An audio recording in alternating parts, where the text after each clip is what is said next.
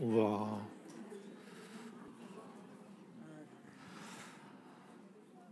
Voilà, nous allons euh, recommencer donc euh, pour euh, cet après-midi, donc la deuxième partie de notre journée. J'espère que vous avez pu vous restaurer, échanger entre vous, créer du réseau. C'est aussi l'objectif de ces journées.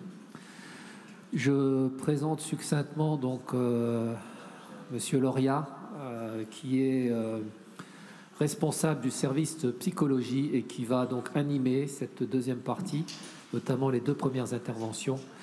À toi de jouer, Salvatore. Alors bonjour à tous. Je vais essayer d'être à la hauteur de Fabrice. donc euh, soyez indulgents avec moi. On a bien mangé tous. Donc ce que je vais faire pour vous aider, c'est que je vais faire un bref résumé de ce qui s'est passé pour nous remettre tout doucement et calmement dans le bain. Et après, je présenterai, excusez-moi, comme ça, je remets tout doucement, comme ça, ils seront chauds quand vous pourrez intervenir. Ça va? Donc, si vous regardez relativement ce qui s'est passé, c'est qu'on a eu des focus relativement intéressants sur notamment la sociologie dans un premier point. Dans ce focus, on a abordé la question des croyances, la question des stéréotypes, éventuellement des mythes sur la santé.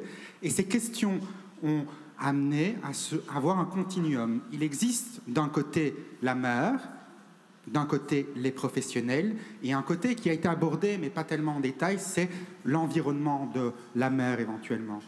Du côté de la mère, il y a un continuum qui existe, c'est-à-dire d'un côté, on peut imaginer que la mère, l'enfant, est une opportunité pour elle, euh, peut être un moyen de finalement changer, et de l'autre, toute la difficulté du déni de la prise en charge.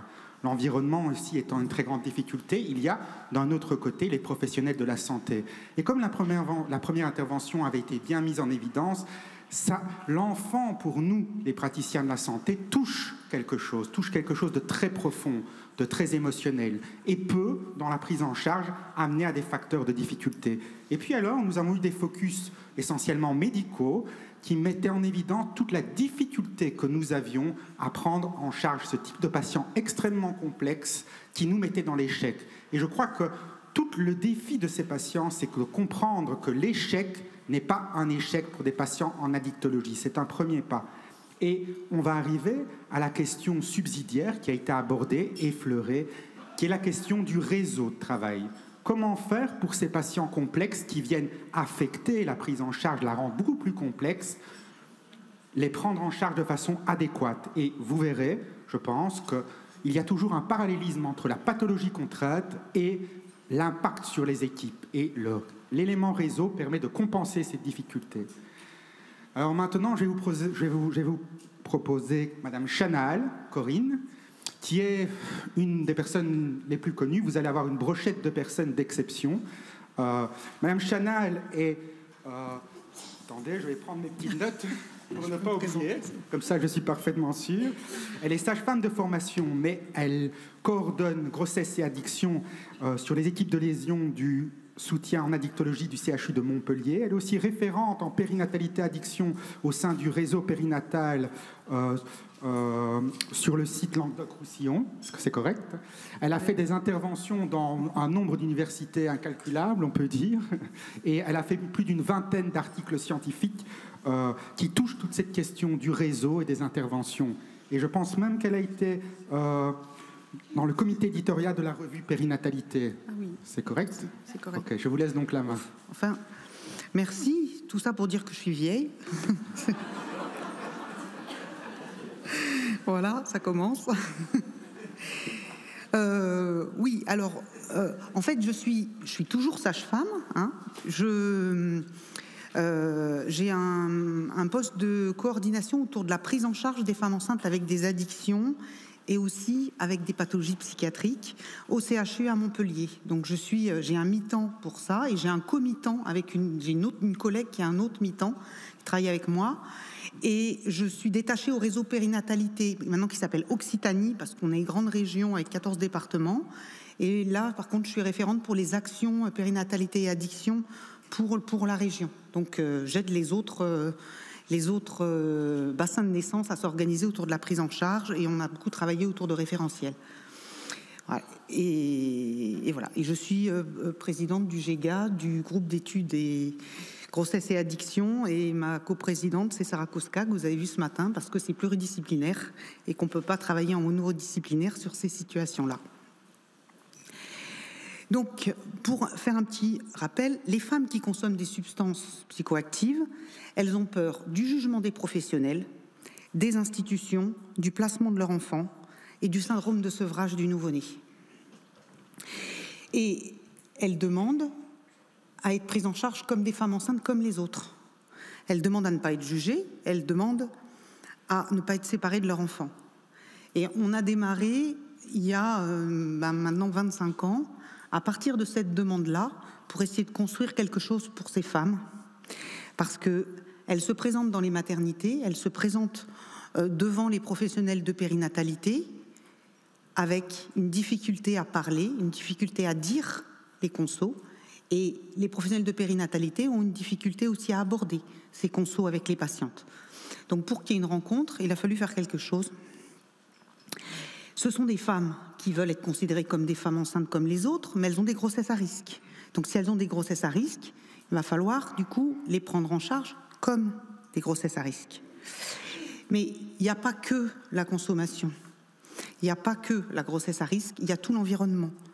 Et il y a tout, tout leur mode de fonctionnement personnel qui, euh, ce qu'on va percevoir, ça va être un manque de confiance en soi, ça va être des difficultés au niveau de la relation, des troubles du lien, des troubles de l'attachement, qui remontent souvent à longtemps.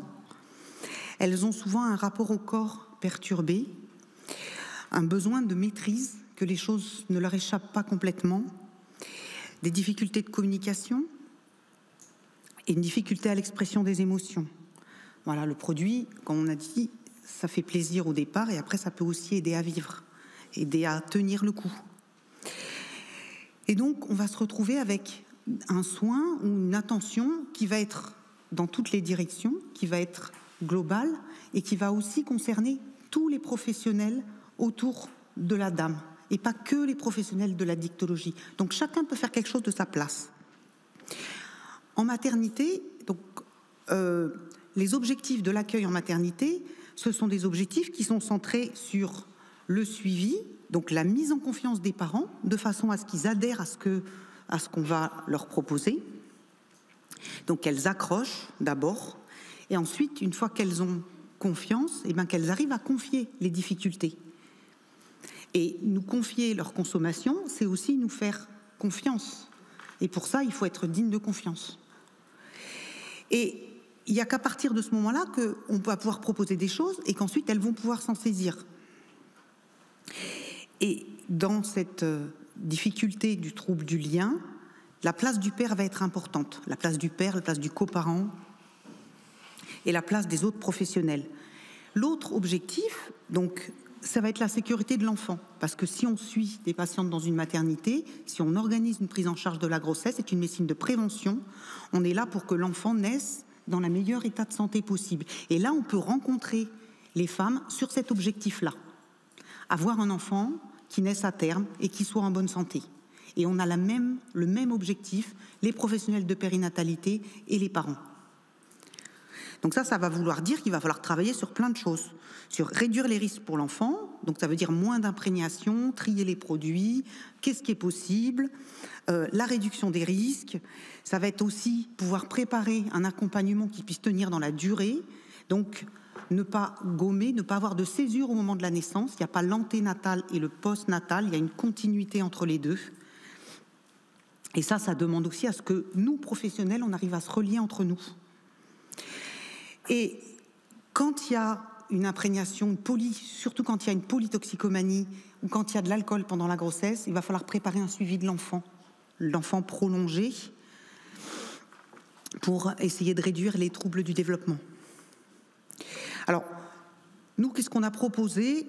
Donc, on a, on a démarré euh, une prise en charge à partir de, des années 90, euh, 95 on a commencé à se dire il faut qu'on améliore l'accueil en consultation pour ces femmes.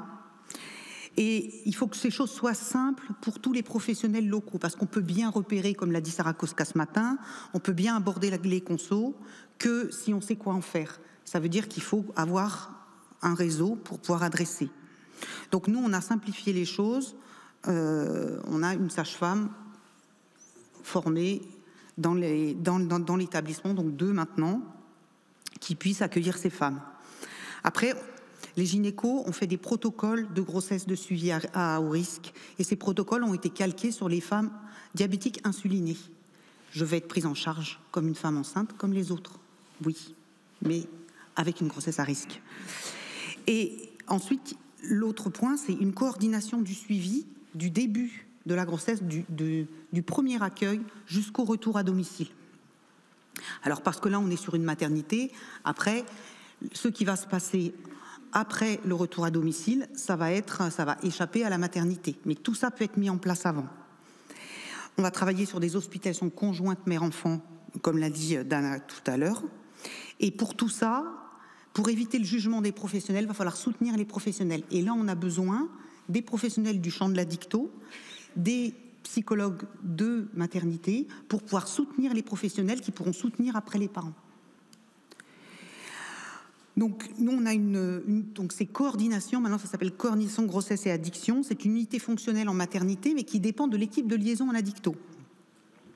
Euh, il y a un bureau avec, en plein milieu des consultations, avec, euh, avec surtout un téléphone et un répondeur où les patientes peuvent laisser des messages. Et au niveau de l'équipe de coordination, donc c'est une équipe centrée sur la demande des femmes, donc très grossesse, avec un temps de sage-femme, un temps de pédopsychiatre et un temps de pédiatre. Les professionnels du champ addicto sont tous les professionnels du réseau existant ville et hôpital. Donc cette prise en charge, elle est destinée à qui? Elle est destinée à des femmes enceintes qui vont déclarer une consommation à un professionnel, ou un professionnel du champ addicto, ou un professionnel du champ périnate. Donc c'est plutôt pour les situations complexes et pas pour les femmes qui fument que du tabac, je veux dire que du tabac, excuse-moi Gilles. Euh, y a, on a une sage-femme tabacologue aussi qui fait aussi de l'hypnose et on va travailler ensemble. Donc, le, une des conditions pour, euh, pour que, aussi répondre à la demande des dames, c'est être présentée comme une sage-femme référente pour les femmes qui consomment des produits, les femmes qui ont des addictions, les femmes qui prennent des psychotropes. Pas comme sage-femme addictologue. Parce que là, du coup, le sage-femme, il est oublié. On est ancré sur la grossesse et on travaille avec les professionnels des autres champs. Donc les patientes, elles sont adressées ou pour une coordination de la prise en charge ou pour un entretien d'évaluation et des orientations. Après, il y a toute une, planification du suivi de grossesse, les orientations en fonction des besoins, le travail en réseau et la coordination jusqu'à l'accouchement. Donc, les rendez-vous sont pris ou par les professionnels ou par les patientes ou par le secrétariat classique de gynéco-obstétrique. Donc, on n'appelle pas l'équipe de liaison, on appelle la maternité et il y a un téléphone avec un répondeur avec le numéro qui est sur le, sur le site de, l'hôpital et qui est facilement euh, aussi repérable sur Internet. J'ai des patientes qui nous contactent par euh, mail également. Donc là, je vous ai mis juste pour voir qu'il n'y a pas que le service d'obstétrique qui adresse, donc il y a les services médico-sociaux, le médecin généraliste, on travaille beaucoup avec les médecins généralistes, les patientes elles-mêmes avec le bouche à oreille ou alors euh, ce qu'elles vont trouver sur les blogs, euh, la psychiatrie ou la pédopsychiatrie, les structures spécialisées évidemment addiction et structures spécialisées addicto, euh, alco parce que du coup c'était différencié dans le rapport d'activité à ce moment-là. Donc la méthode c'était de rester centré sur la grossesse, donc de ne pas rester seul, d'impliquer le père et s'appuyer sur le réseau personnel de la patiente, d'abord, avant de proposer des orientations.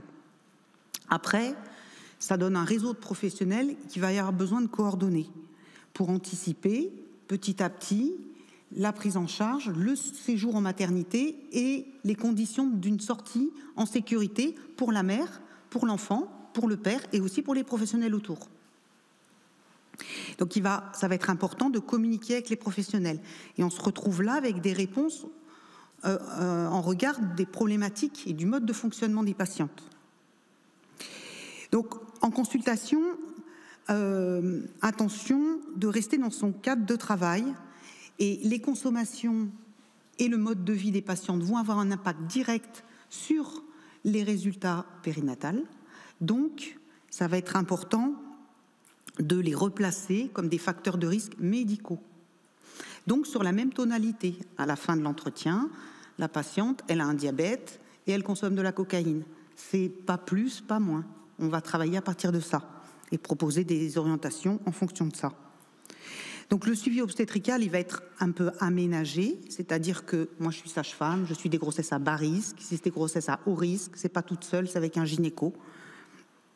Et on va utiliser toutes les possibilités du suivi pour pouvoir euh, avoir, voir très régulièrement la patiente et petit à petit proposer des aides euh, complémentaires. Alors, ne pas rester seul, ça veut dire trianguler, ça veut dire ouvrir la relation. Donc c'est les petites méthodes, c'est comment est-ce qu'elle est arrivée jusqu'à moi? Qui c'est qui l'a adressée? Qui est au courant qu'elle est enceinte? Comment l'entourage a réagi? Qui connaît ses addictions?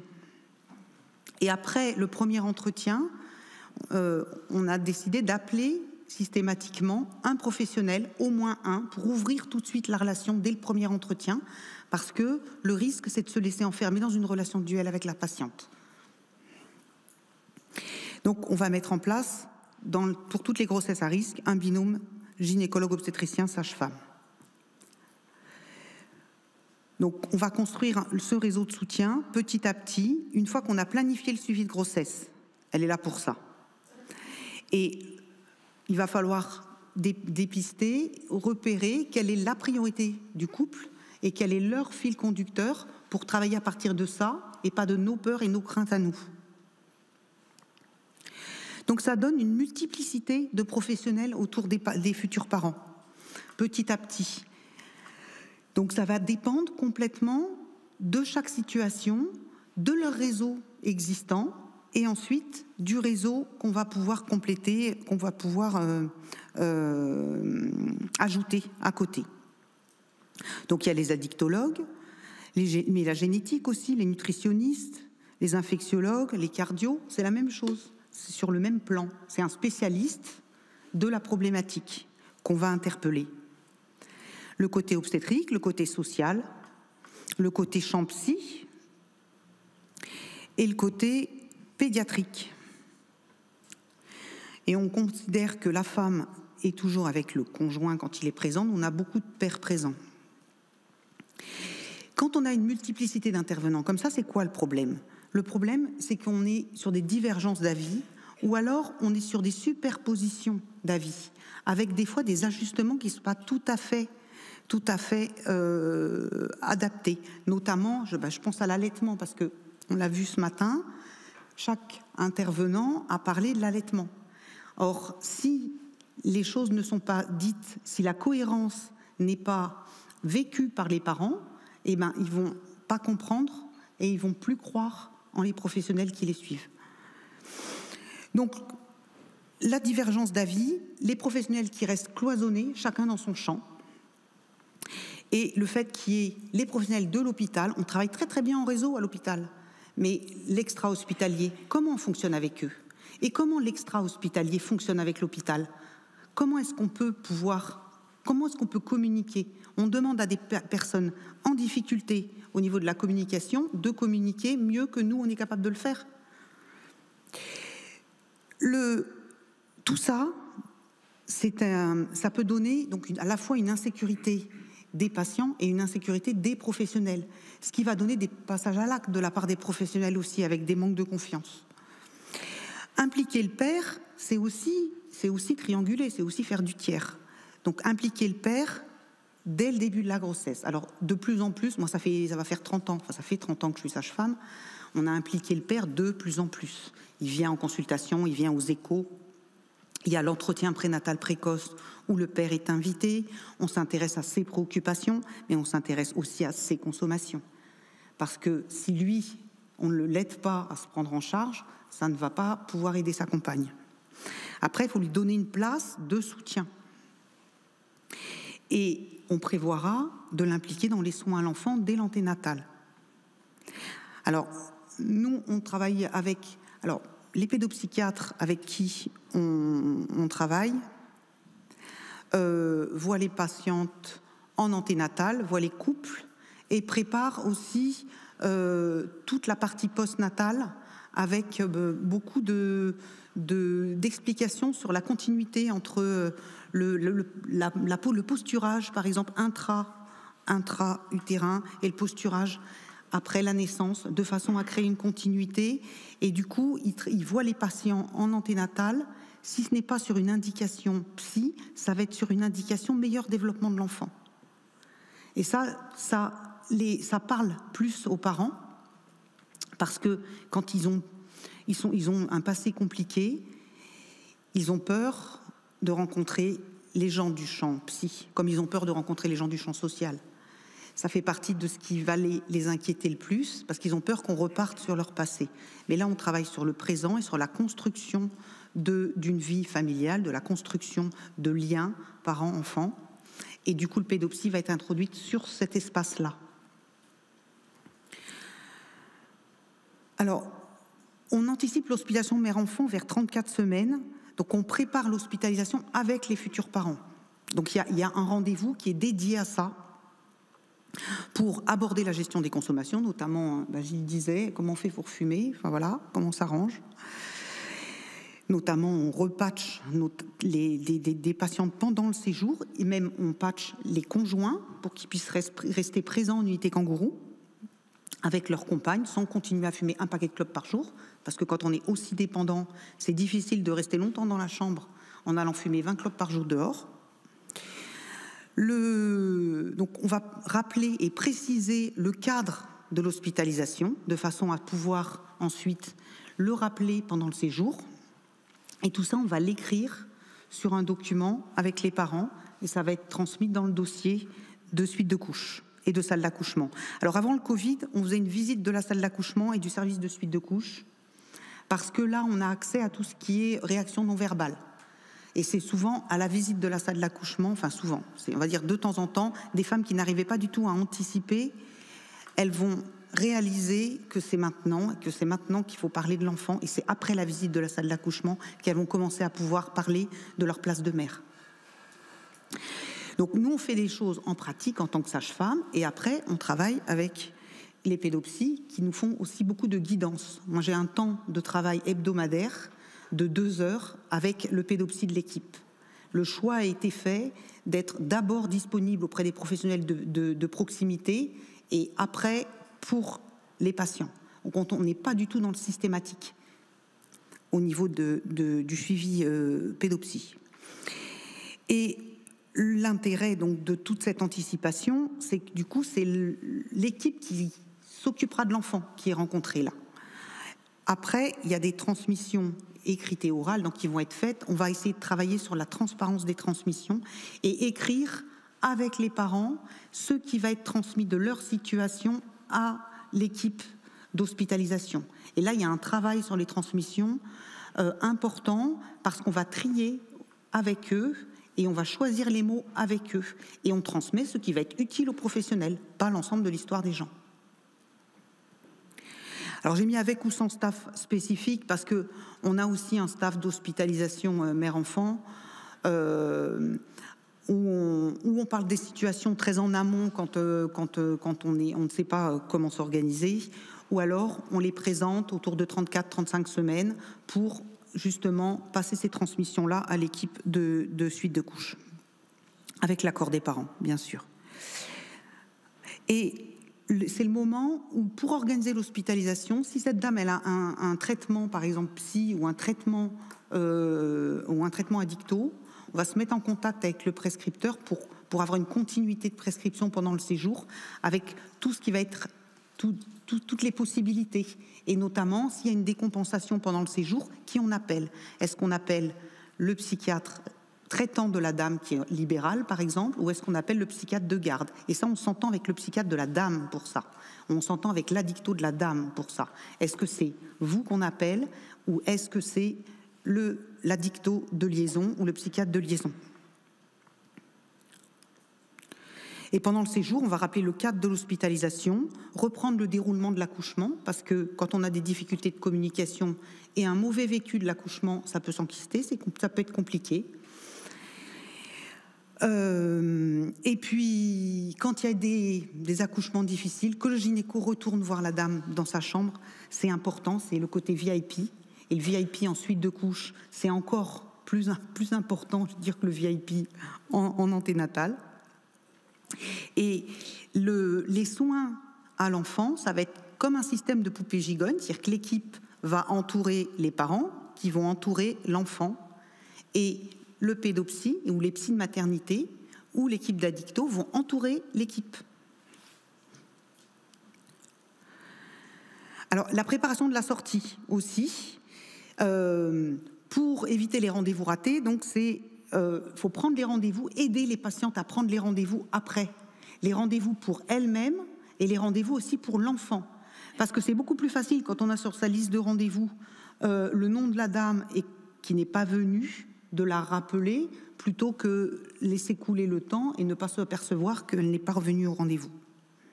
Donc le lien avec le médecin généraliste, donc à prévenir du risque de dépression du postpartum qui est majoré pour ces patientes et souvent masqué par des reprises de consommation. Et donner aussi au médecin généraliste la date des rendez-vous à dictologie, si elle est suivie en centre de soins, et lui donner une place de coordination des soins de la mère parce que pendant la grossesse, l'enfant, il est dans le ventre, mais après, il y a la mère et il y a l'enfant. Et là, les choses sont un petit peu différentes. C'est en général, il y a une coordination des soins à l'enfant, une coordination des soins à la mère. S'il n'y a pas de lien entre les deux, les choses se, se délitent. Et les sages-femmes libérales, donc on travaille pas mal avec les sages-femmes libérales et on leur demande de soutenir la place de l'équipe. Alors, le, moi, j'ai mis de la place de, la puère et du pédiatre ou du médecin de PMI, mais ici, c'est pas la PMI, c'est en fait c'est soutien à la parentalité. Alors, quand est-ce qu'on communique avec les autres professionnels? Donc, il faut que ça ait du sens, toujours pour les couples. Donc, systématiquement après le premier rendez-vous, pour expliquer le suivi de grossesse programmée, pour expliquer ce qu'on a fait, ce qui s'est passé, pas pour demander des renseignements.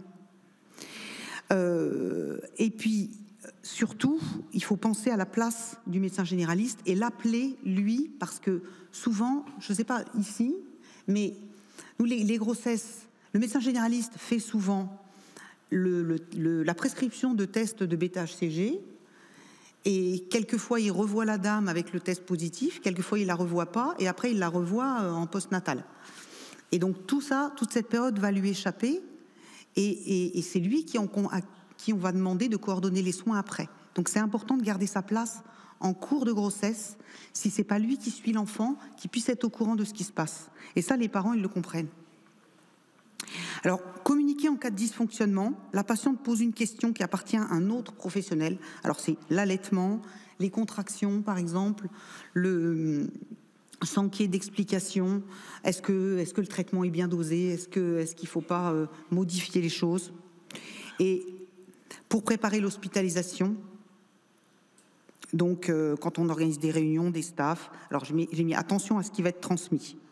Et au moment de la sortie, il va falloir recommuniquer avec les professionnels. Je vous ai mis une petite vignette clinique en illustration donc c'est une patiente qui a été adressée par euh, l'interne du service d'addictologie. Elle est hospitalisée pour un, pour un sevrage de tramadol. Elle est en début de grossesse, mais ils ne savent pas exactement de combien. C'est une dame qui a 41 ans. Elle a fait deux IVG et là, c'est premier, sa première grossesse euh, euh, choisie. elle a. Hum, donc, je lui donne un rendez-vous et je donne un rendez-vous donc avec, euh, je programme une écho de datation, donc je vais voir les échographistes hein, pour euh, pleurer un peu parce que les délais de rendez-vous sont très longs en maternité. Et, donc j'ai un rendez-vous d'écho et moi je mets le rendez-vous avec moi après. La dame elle vient avec son conjoint. En fait elle est à 11 semaines. Donc c'est une dame qui sait qu'elle est enceinte depuis 15 jours. Elle s'en est aperçue très tôt. Euh, non, elle s'est pas aperçue très tôt. Elle s'en est aperçue après 5 semaines de retard de règles. Donc elle est à 9, elle était à 9 semaines.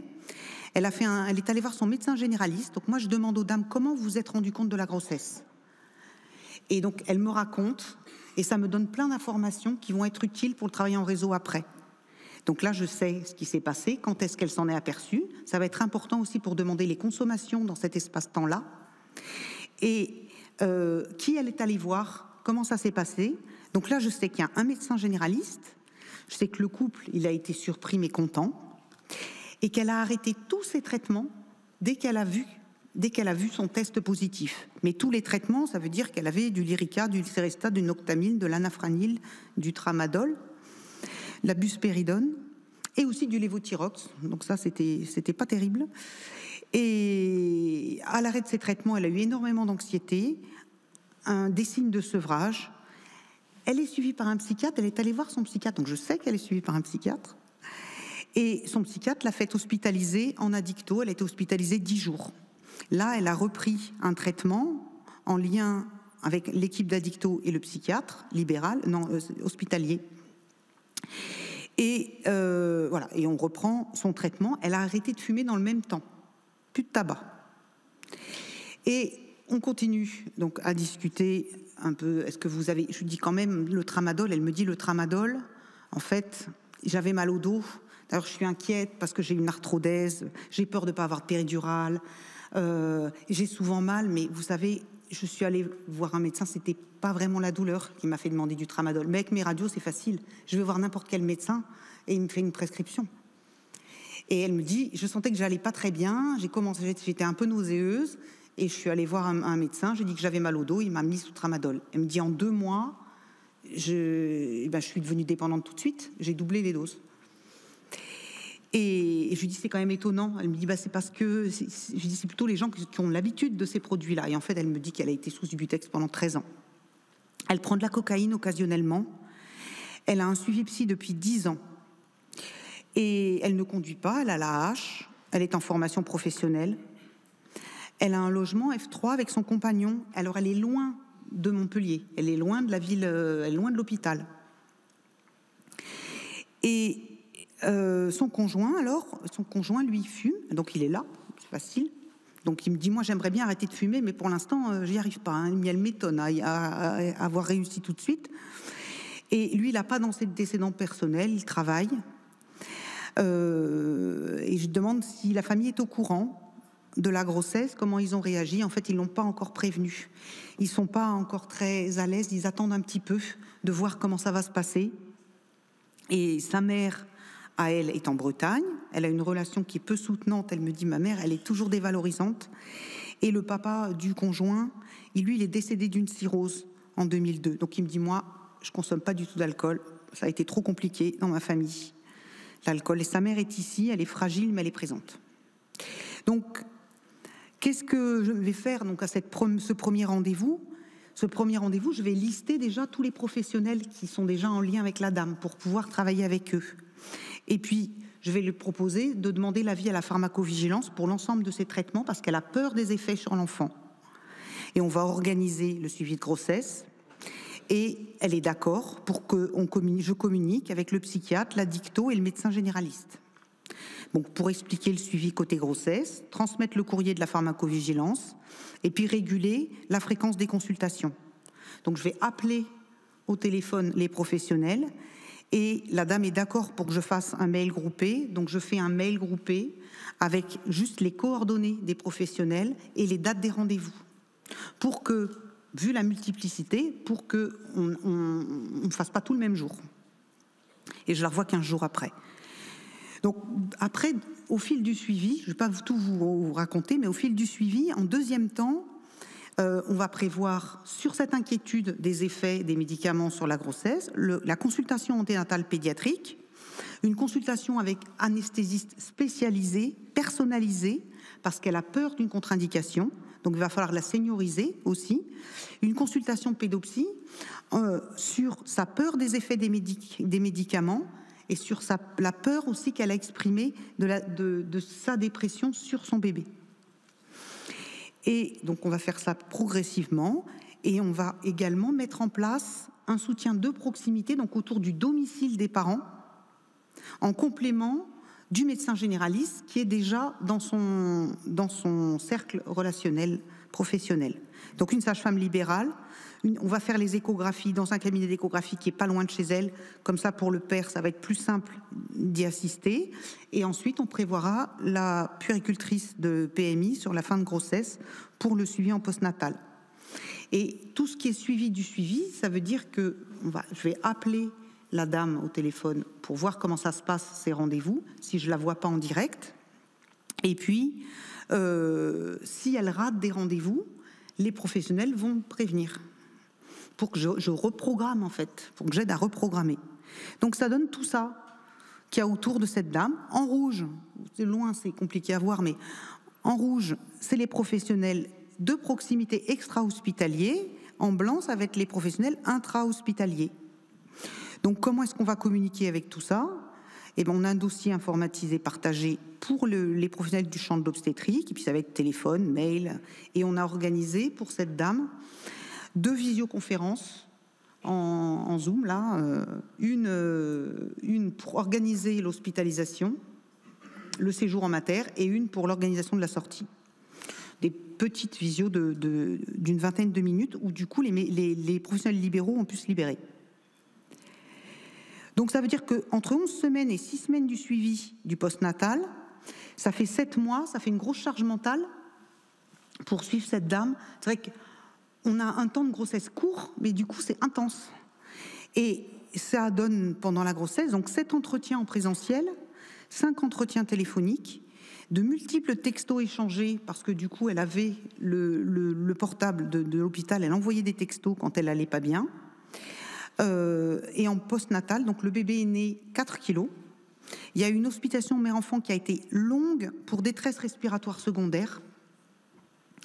Il y a eu donc six visites en chambre et une consultation à six semaines du postpartum. Ça, c'est rien que pour l'activité de la sage-femme de coordination. je ne vous dis pas l'intensité du suivi avec euh, les autres professionnels. La spécificité, c'est qu'il y a un suivi du suivi. Donc, ça veut dire appel téléphonique, travail à partir des rendez-vous ratés, être joignable, garder le lien, et expliquer aux patientes la nécessité de cette coordination, à quoi ça va leur servir à eux et chaque fois qu'on va orienter, chaque fois qu'on va proposer un nouvel intervenant, c'est s'enquérir de la qualité de la relation. Comment, ça s'est passé? En disant, bah, ça peut avoir, ça peut ne pas avoir matché. Peut-être qu'il va falloir réajuster, ou alors il peut y avoir des clashs, et on peut revenir sur les clashs, et ça va leur permettre de remettre de la fluidité dans, leur, dans, leur, euh, dans la relation qu'elles ont avec les professionnels. Donc toutes les orientations doivent tenir dans le temps, et il y a un intense travail en indirect auprès des équipes, donc de la part des sages-femmes de coordination, donc moi et ma collègue, et de la part des pédopsies essentiellement. Donc quelle expérience pour ces femmes? Il y a beaucoup d'aide à l'expression des émotions.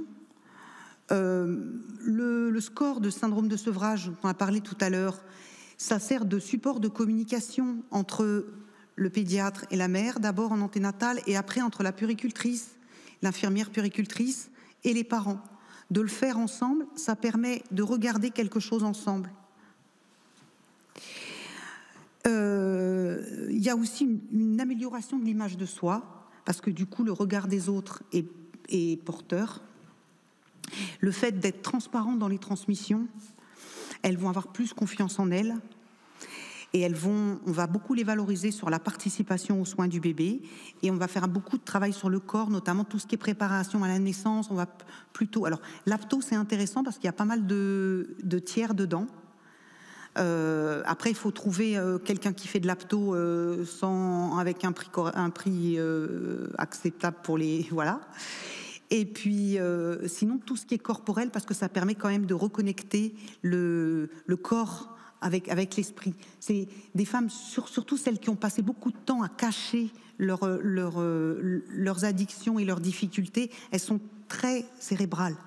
Faut les aider à descendre un peu dans le corps. Et ça, de notre place professionnelle, on, a, des, on, a de quoi faire. Et on a des outils. Toute la préparation à la naissance, par exemple. Euh, le yoga, euh, la piscine, c'est aussi les, la prépa en piscine, c'est aussi très intéressant. Toutes les, posturages avec les ballons, etc. voilà, la transmission de la confiance. Donc elles vont apprendre petit à petit à s'appuyer sur des personnes et pas sur des produits. Alors, facteur de sécurité des professionnels, c'est un regard différent. Ça va être d'abord des grossesses à haut risque médical. Après, ils vont être rassurés par les protocoles de suivi. Donc on protocolise parce que ça aide à la relation et ça dégage la relation. Des transmissions qui vont être suffisantes. Voilà, bon, je vous ai mis évolution sur 20 ans. En fait, on est passé de 94 à la maternité, on avait très peu de femmes vues, 2 à 3 par an. Et on est actuellement sur 70 à 80 femmes avec des addictions complexes qui sont suivies à la maternité, avec une augmentation du repérage des addictions, sans opiacés notamment, notamment de l'alcool. Voilà. J'arrête.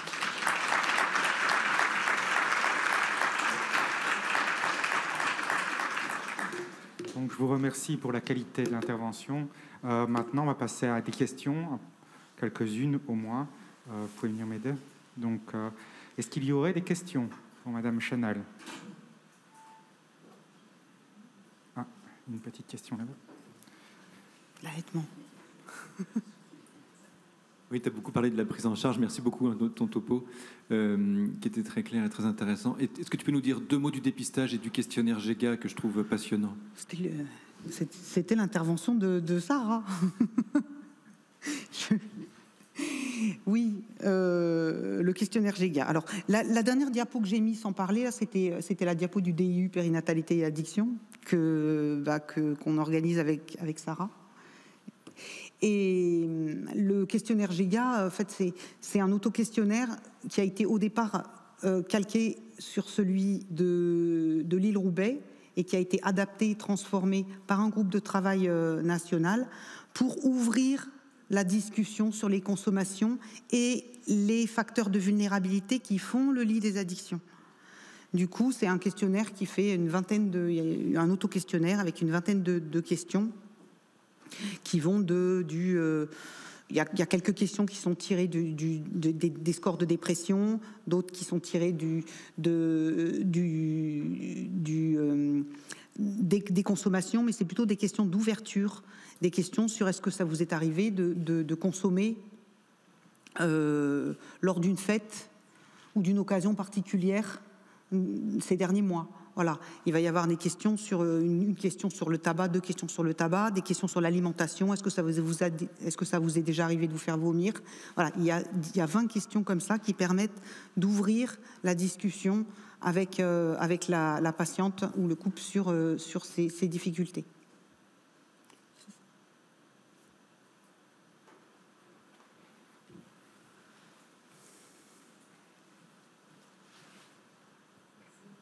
Comment est-ce que votre service est euh, financé Est-ce que c'est le même budget euh, du CHU ou est-ce que vous avez un budget séparé? Euh, Alors, c'est financé par le FIR Addiction. Donc c'est...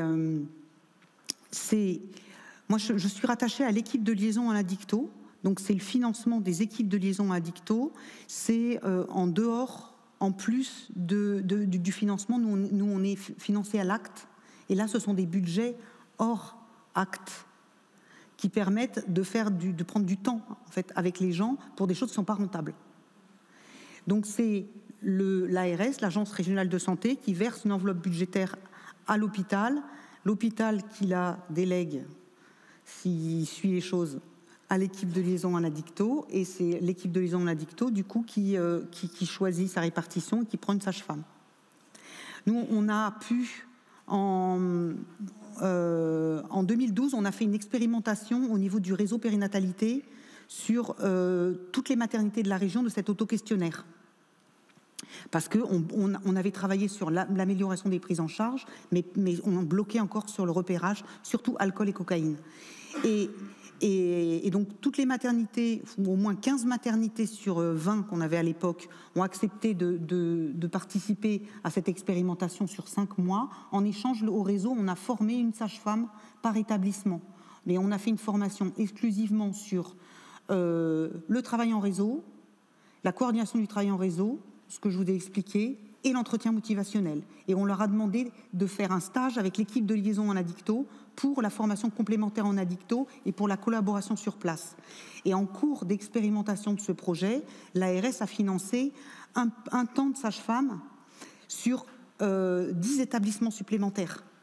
Sur tous les établissements, il y avait déjà une équipe de liaison en addicto. Sur des petits temps, sur du 0,2 à 0,5, mais du coup, ça a permis, et c'est sur des financements addiction. Est-ce qu'il a une dernière question? Oui.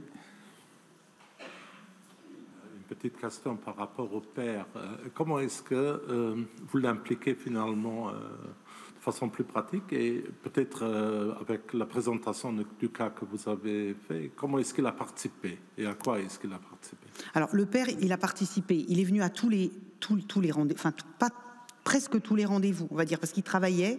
Donc on a organisé, c'est pour ça qu'on a fait un mail avec le planning des, consultations. Il y avait des consultations en distanciel, en présentiel, de façon à ce qu'il puisse être présent. Et donc c'est un homme qui travaillait, euh, il, faisait 15 jours de travail et 15 jours de, repos. Et on a calé les rendez-vous importants pour sa place à lui les, les semaines où il travaillait pas. Euh, donc il est venu aux échos, c'est pour ça qu'on a fait des échos de proximité à, quelques consultations de grossesse, au, rendez-vous euh, avec le pédopsie. Et, euh, et pour, le, pour ses soins, lui, parce qu'il voulait arrêter de fumer, je l'ai adressé à, une consultation tabaco de proximité. Après, euh, en anténatal, donc je vous ai dit, la pédopsie avec laquelle on travaille le plus, qui est Rosemary Toubin, elle, fait, elle travaille sur le posturage euh, des, des, nouveaux-nés, donc elle les regroupe et elle fait ça. Elle montre des photos de d'enfants posturés, regroupés euh, ou, posés euh, dans, les bras de, des, des, mères et des pères en anténatal, et ça permet d'avoir toute une expression du couple sur comment eux-mêmes ont été portés comment eux-mêmes se sont sentis en sécurité ou en insécurité. Du coup, on démarre dès l'anténatal. Et donc, c'est avec le père et la mère. Et après, pendant le séjour, on, fait des hospitalisations conjointes mère-père-enfant. C'est-à-dire qu'on prend le père. Au début, on prenait le père euh, sur le fauteuil. Après, c'était sur un matelas par terre. Maintenant, ça, s'arrange un peu. Mais donc, on les prend. Ça veut dire aussi qu'on leur fait pas, leur facture pas les prix de repas. Et, et, euh, et ensuite, donc, on implique le père dans les soins tout de suite.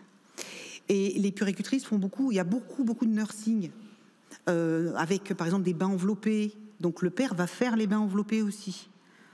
donc il y a et beaucoup de portage en peau à peau. On est sur le quatrième trimestre de grossesse. Donc on prépare le quatrième trimestre de grossesse avec les deux parents dès l'anténatal et on, remet une couche de plus pendant, pendant la période d'hospitalisation mère-enfant. On fait minimum 5 jours d'hospitalisation quand il n'y a pas de, syndrome de sevrage. Euh, pour, tout produit. On fait minimum 5 jours pour ces, parents-là, pour avoir, ce temps-là. Et pour l'allaitement, il euh, faut vraiment les aider beaucoup parce que les dames qui fument, elles ont une production de lait qui est moins importante. Il faut vraiment mettre beaucoup d'énergie pour les aider parce que c'est important que ça tienne longtemps. Ok, je vous remercie pour. Euh, je demande qu'on l'applaudisse. Donc, madame, bravo. Merci beaucoup.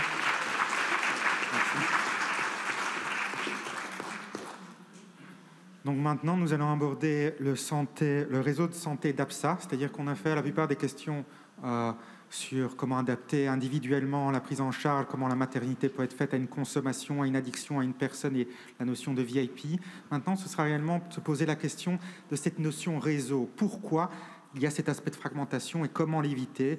Et c'est leur expertise de Brigitte Dallet et de Cécile Pelletier qui ont cette intervention de pouvoir proposer un dispositif d'appui à la parentalité et aux soins ambulatoires à Paris. Merci. Elle voulait s'asseoir, donc on va les laisser s'asseoir. Est-ce que les micros sont ouverts pour les personnes assises?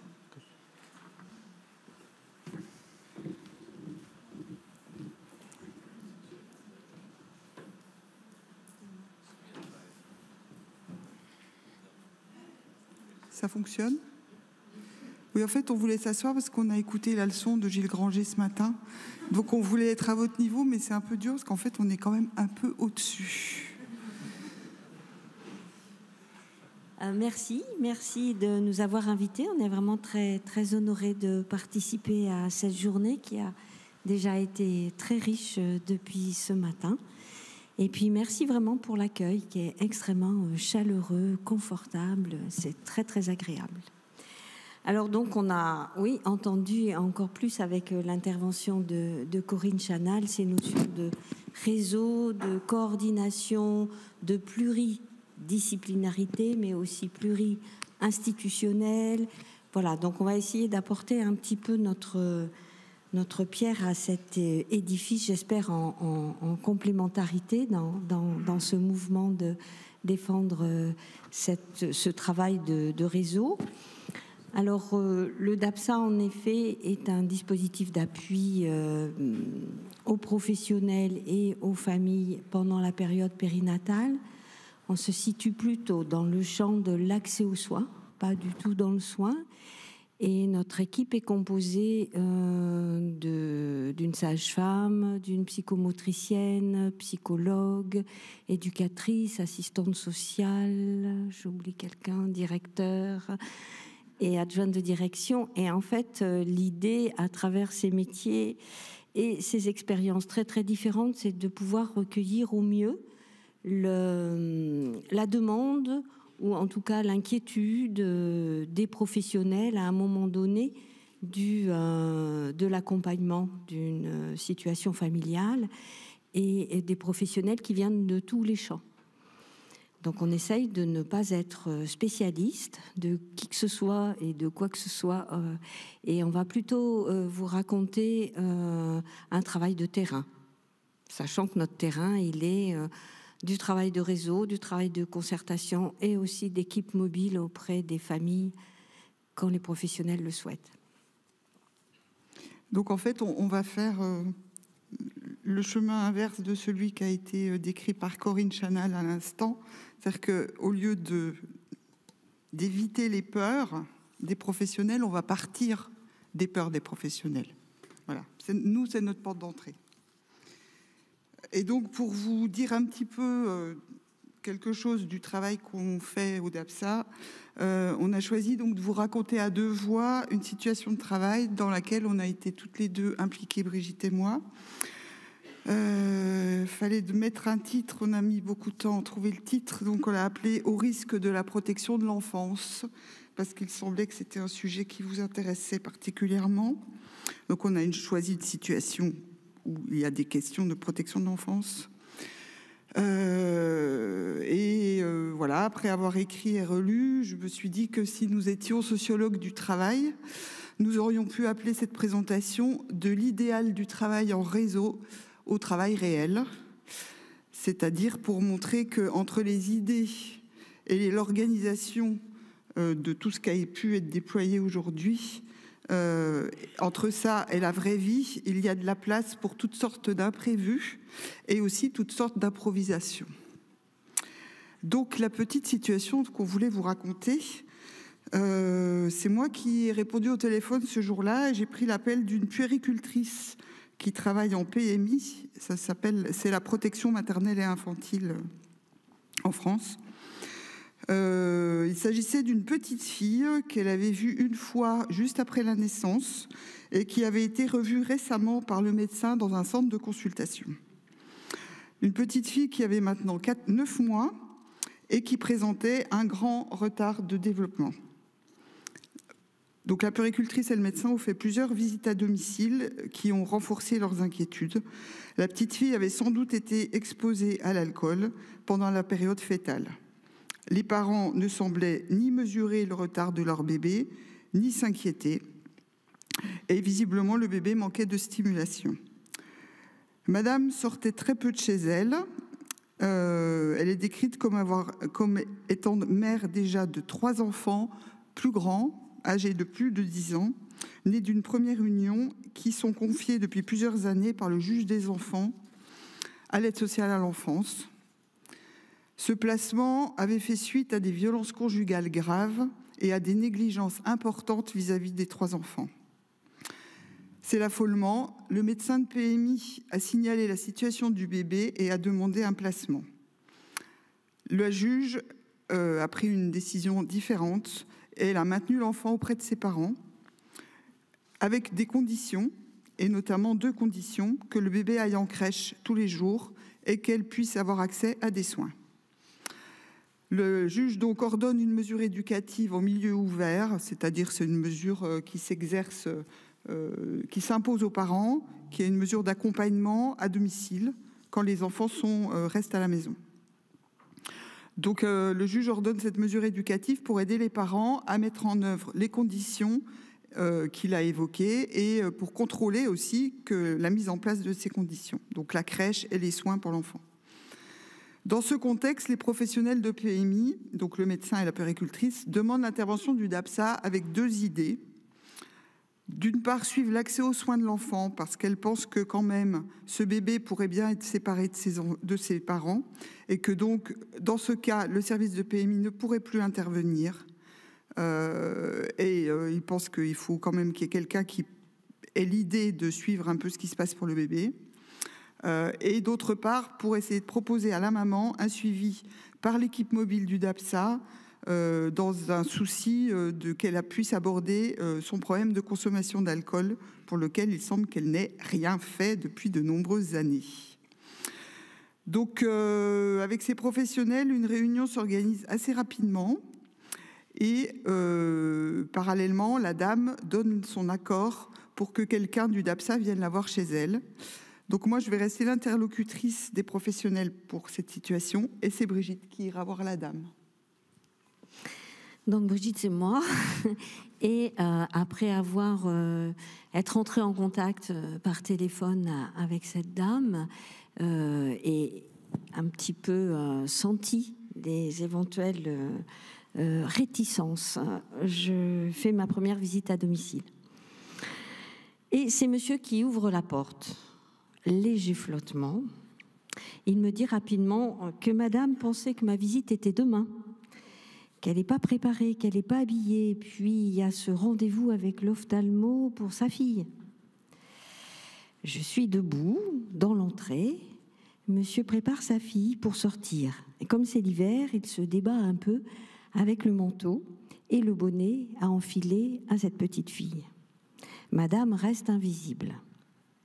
Peut-être, derrière une porte, m'entend-elle dire Ce n'est pas grave, ne la dérangez pas, je peux revenir demain ou un autre jour, plus pratique pour vous.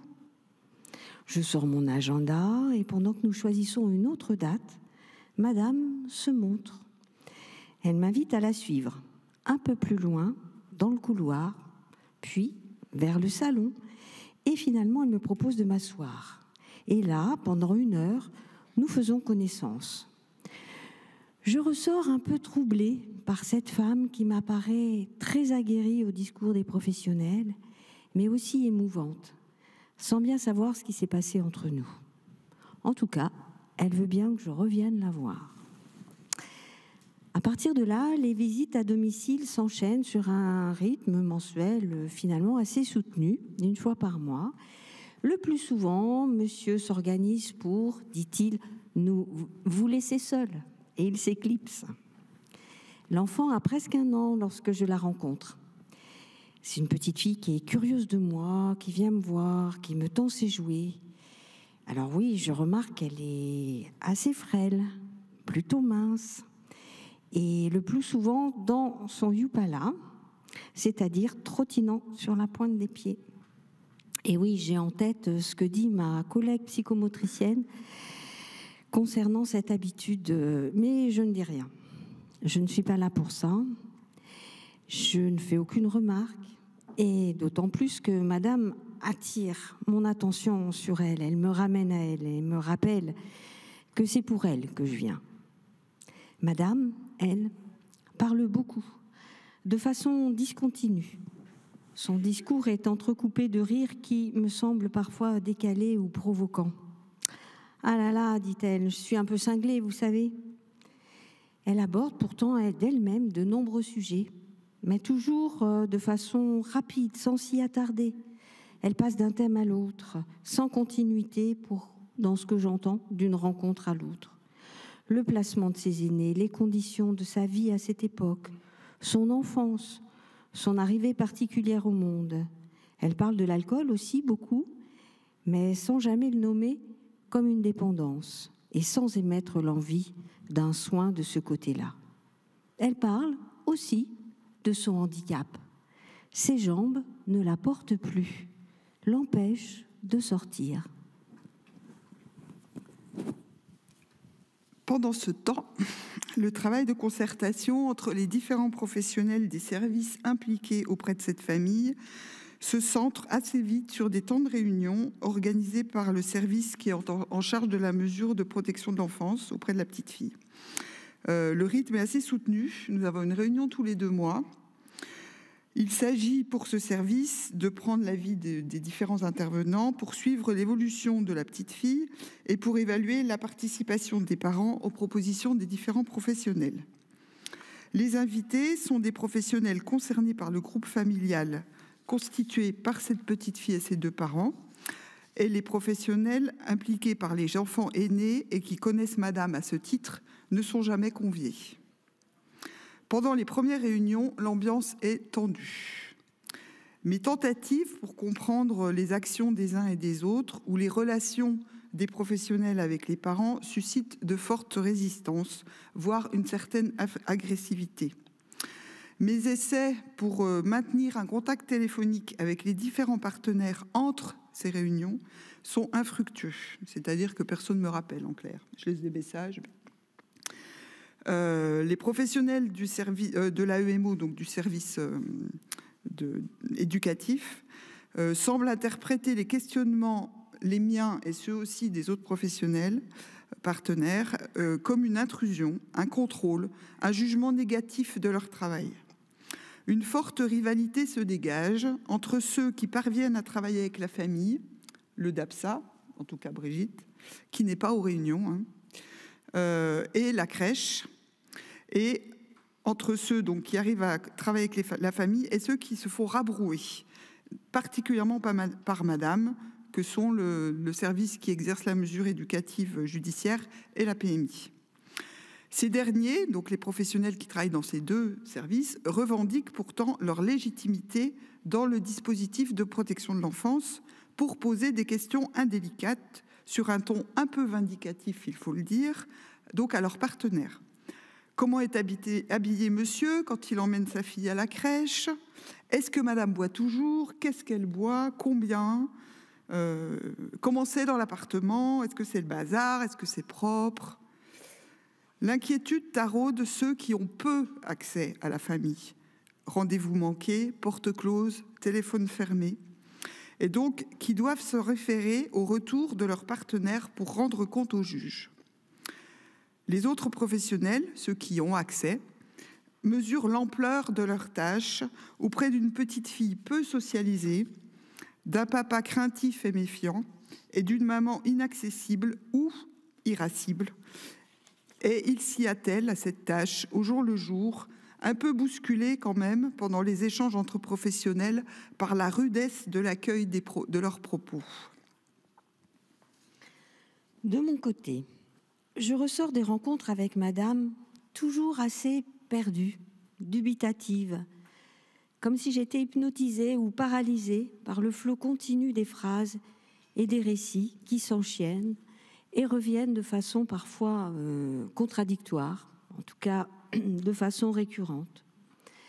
Oui, je suis troublée, je suis dérangée par le fait que Madame m'accueille par un Ah, c'est aujourd'hui que vous venez?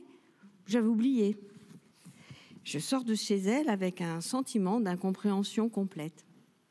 Je m'interroge. Qu'est-ce que je fais là? Je me dis Oui, euh, elle est folle.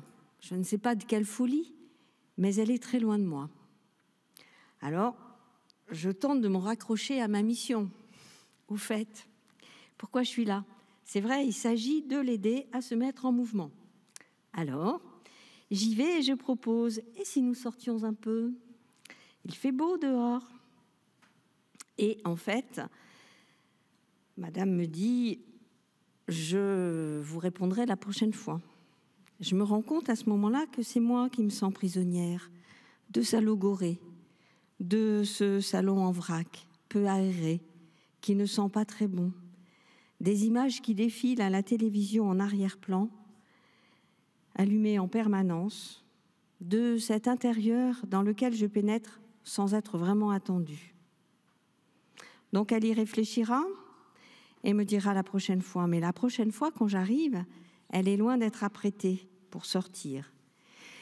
Mais elle me dira en fin d'entretien, lorsque je lui rappelle ma proposition de balade, vous savez ce qui est important pour moi, c'est la patience et le respect. Alors? Alors je lâche tout.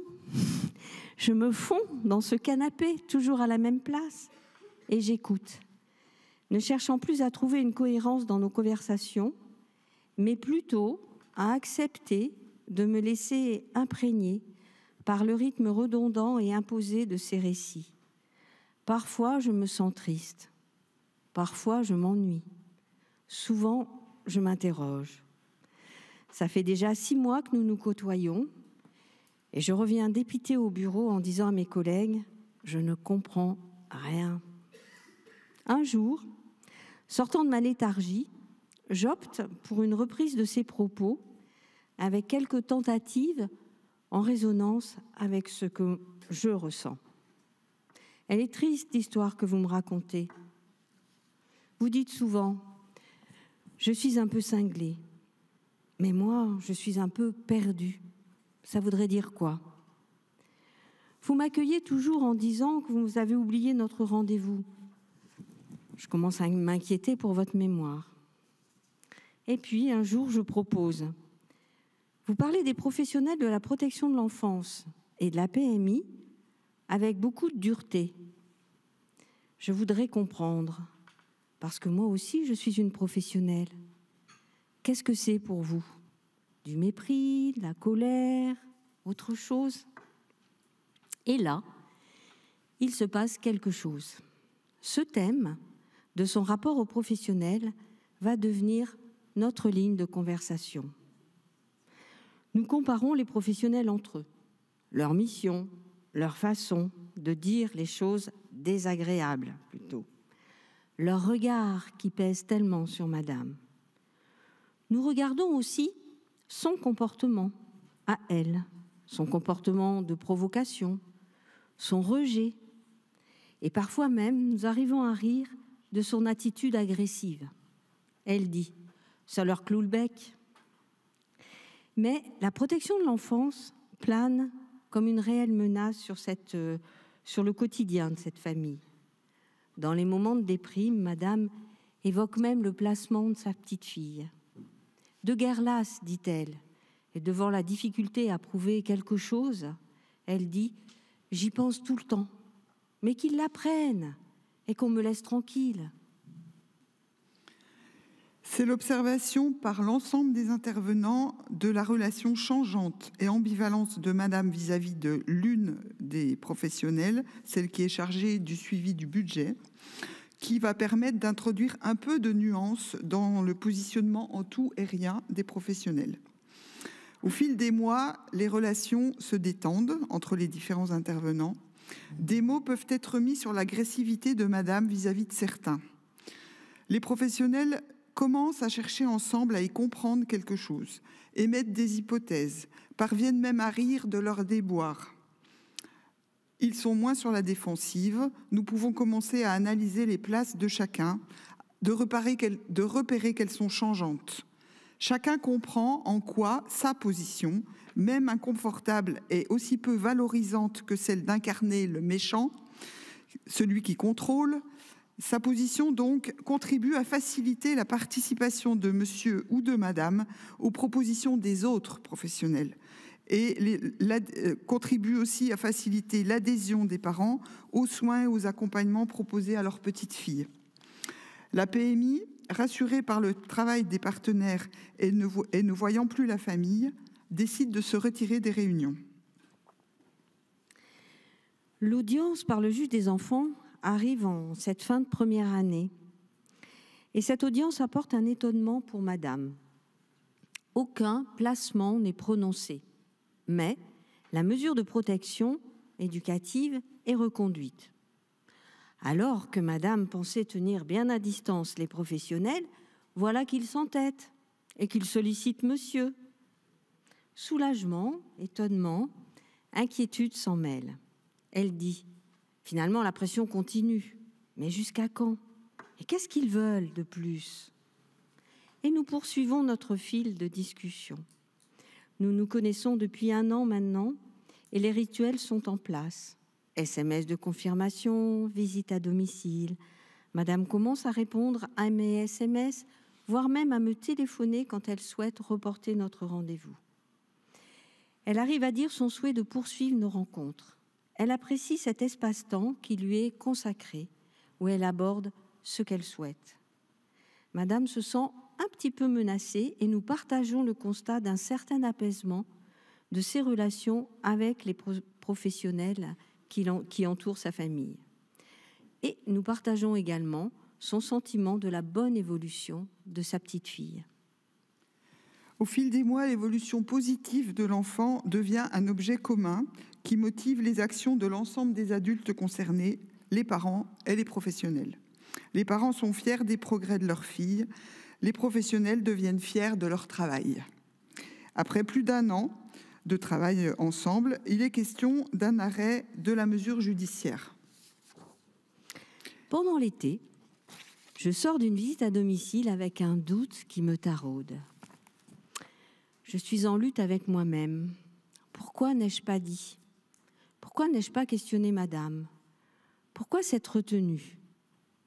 Parce que je n'étais pas sûre, parce que j'étais surprise, parce que cette situation ne faisait pas partie du plan.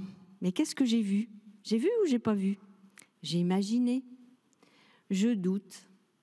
Ai-je vu un corps changer? Ai-je vu un ventre plus visible?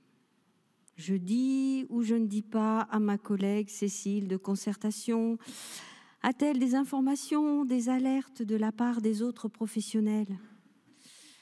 Calmons-nous, calmons-nous. D'abord, il faut en parler avec Madame lors de la prochaine rencontre. Quatre semaines de doute, il me faut attendre. Lors de la visite à domicile suivante, le doute n'est plus permis. Madame m'accueille dans une robe moulante. Et lorsque je lui dis que je vois, elle porte très fièrement sa main sur son ventre arrondi. Il est donc question d'un arrêt de la mesure judiciaire. Mais un événement vient interrompre ce mouvement. L'une des professionnelles téléphone pendant une des réunions pour excuser son absence et pour répéter ce que Madame vient de lui confier. Madame est enceinte. L'annonce de cette grossesse, jusqu'alors inconnue des autres intervenants présents à cette réunion, interrompt les discussions. La réunion se conclut rapidement sur l'idée que l'équipe éducative décidera en interne quelle suite donner à son travail et qu'elle en informera les partenaires. Est-ce la perspective de l'arrivée d'un nouvel enfant ou le secret enveloppant cette grossesse qui stoppe la pensée du groupe? Les choses se figèrent alors quelque temps. Impossible d'avoir quiconque au téléphone, pas de réponse à mes mails qui proposaient l'idée d'un nouveau moment d'échange entre professionnels. C'est l'omerta. Madame ne veut pas en parler de cette grossesse avec les autres professionnels. Elle est catégorique. Elle ne fait pas confiance aux professionnels de la protection de l'enfance. De nombreuses questions m'arrivent alors, silencieuses et envahissantes. M'enferme-t-elle dans un secret? Quelle marge de manœuvre ai-je donc maintenant? Dois-je comprendre cette position comme une marque de confiance? Comme une marque de reconnaissance de ma position naïve d'alliance à ses côtés? Une autre question. Puis-je partager ce secret avec Cécile, ma collègue de concertation? Mais pour être moi-même aussi parfois dans des, travaux de concertation, je sais qu'il peut y avoir des conséquences sur euh, le travail de concertation et je risquerais d'influencer Cécile. Alors restez seul avec ce secret. Finalement, la réponse surgit avec une de mes collègues, hors Cécile, hors réunion, qui m'écoute attentivement. Elle me dit, s'agit-il vraiment d'un secret? Et je réalise, bah oui, c'est vrai, les autres professionnels ne sont pas plus aveugles que moi. Et certaines sont peut-être elles-mêmes dans la confidence. On pourrait alors se dire qu'il s'agit pour Madame en quelque sorte d'une mesure de protection face aux regards et aux remarques des professionnels de la protection de l'enfance, et non pas forcément d'un défi, ou plus simplement d'une envie de sa part et pour elle de profiter pleinement du plaisir de cette grossesse. Donc, je respecterai non plus ce secret, mais sa décision de ne pas divulguer cette information. C'est l'automne, je tourne autour de ces considérations, tentant toutefois d'approcher Cécile sur euh, un éventuel retour des partenaires. Je tournicote, je euh, reste évasive. Un petit quelque chose se prépare, il se passe quelque chose, mais je soutiens Madame pour qu'elle l'évoque elle-même avec les partenaires, laissant ainsi ma collègue imaginer ce qu'elle peut, tout en voyant bien qu'elle s'interroge elle aussi. Nos regards se croisent, rien de plus n'est dit. Je devine à quelques mots couverts de Brigitte que elle sait. Alors, je ne cherche pas à en savoir plus. Je reste dans le vague, je choisis de respecter ce secret et de supporter l'inconfort de ce mystère qui entoure une possible gestation. Madame est-elle vraiment enceinte? Un nouveau bébé va-t-il arriver? Quand? Où? Je réfrène ma curiosité et garde mes questions. J'informe par courriel mes partenaires de la poursuite du travail de l'équipe mobile sans me manifester davantage pendant quelques mois. Je respecte le silence qui s'est installé. Madame reparle de sa précédente grossesse. Elle dit je savais que cette grossesse allait m'attirer des ennuis à cause de mon passé.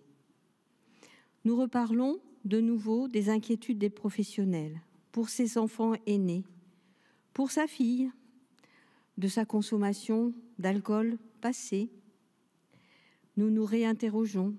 L'alcool et les bébés, est-ce que ça peut aller ensemble? Madame ne remet pas en question le placement de ses aînés. Elle dira même que l'aide sociale à l'enfance ça l'a aidé à un moment de sa vie. Mais elle dit aussi, ce qui est dur, c'est que ça dure. Se dire que c'est fini, qu'ils ne reviendront pas avant leur majorité. D'ailleurs, la juge des enfants me l'avait fait comprendre en me disant Refaites votre vie, madame. Concernant sa petite fille, elle ne corrobore pas les inquiétudes des professionnels.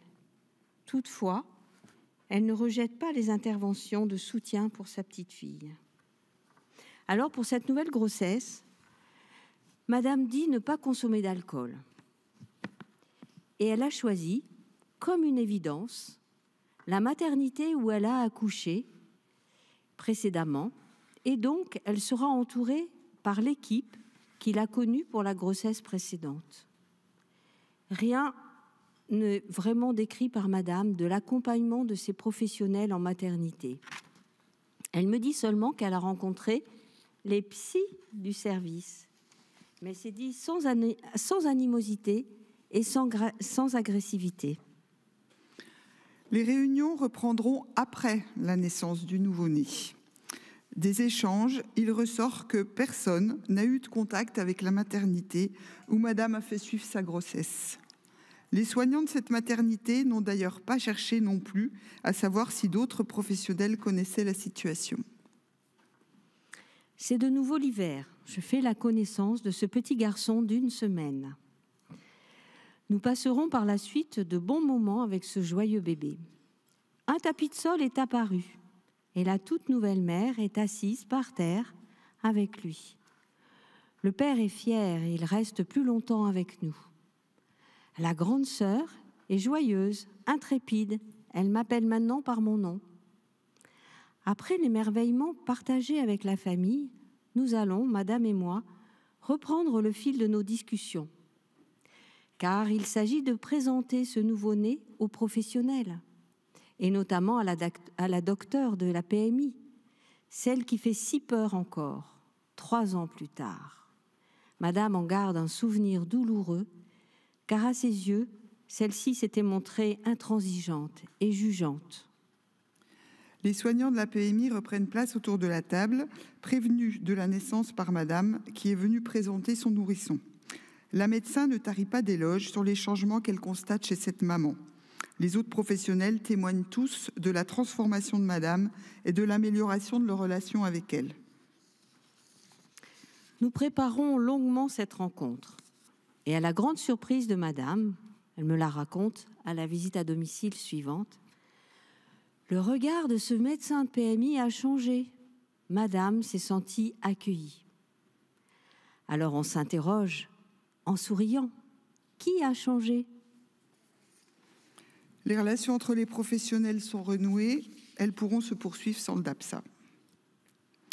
En conclusion, nous avons écrit cette petite histoire séparément, chacune, euh, voilà, en se remémorant un peu le travail que chacune a fait.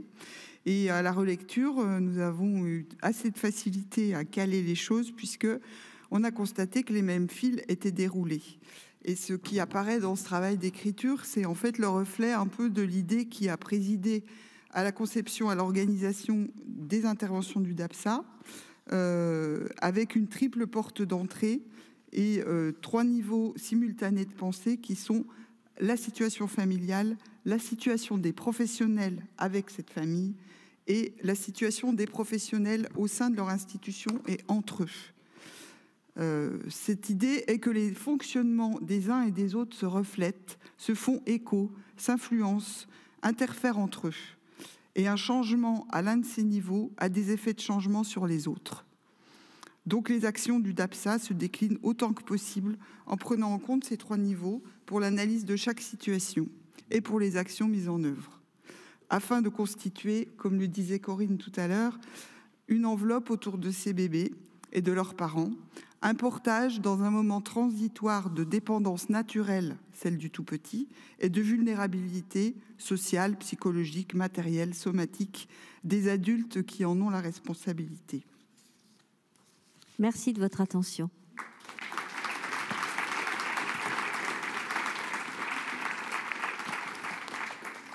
Je vous remercie pour la qualité de l'intervention. Est-ce qu'il y a des questions? À ces experts de terrain Parce que c'était vraiment très émouvant ce que vous avez dit. Merci. Des questions? Non On vous a cloué le bec comme la dame? Ah, une petite question.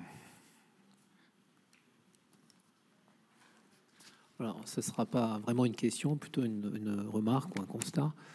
Euh, dans votre témoignage, en fin de compte, vous démontrez l'importance de la collaboration des différents réseaux, des différentes confrontations de pensée qui peuvent avoir une influence majeure sur euh, la prise en charge, euh, puisque voilà, à un moment on se posait la question d'un placement pour le premier enfant, on joue la carte de la continuité.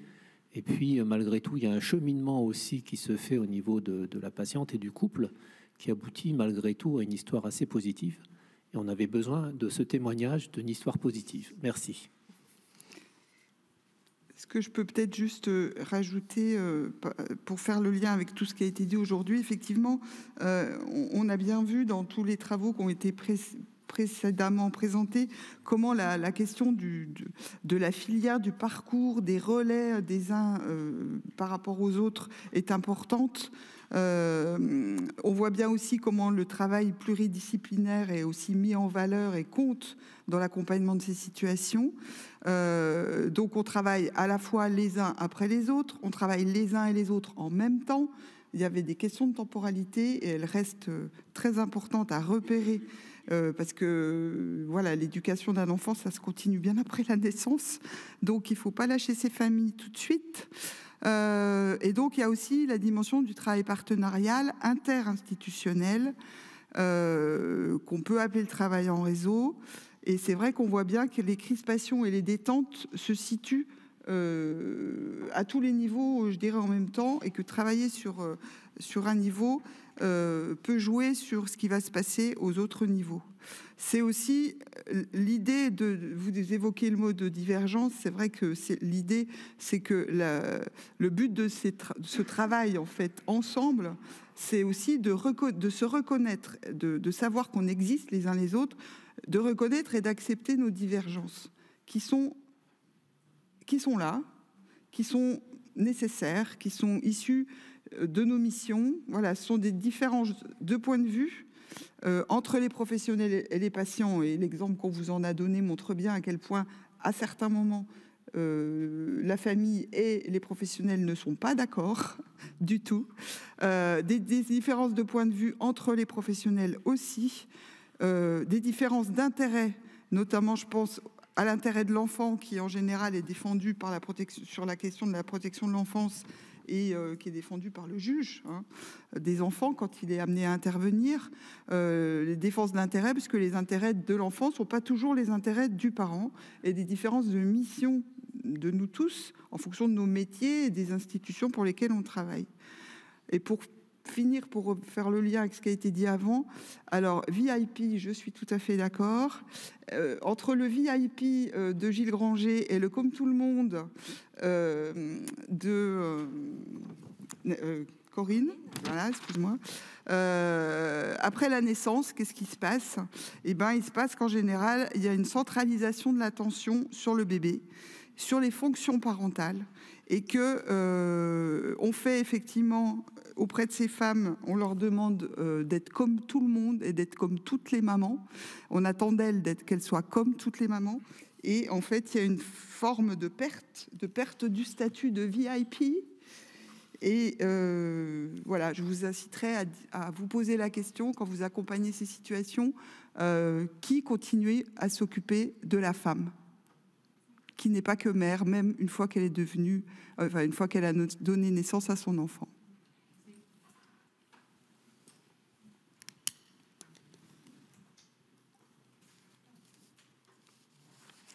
Merci pour la présentation. C'est euh, toujours intéressant de vous entendre euh, travailler dans la continuité comme ça. Je voulais voir justement qui s'occupe de la mère après.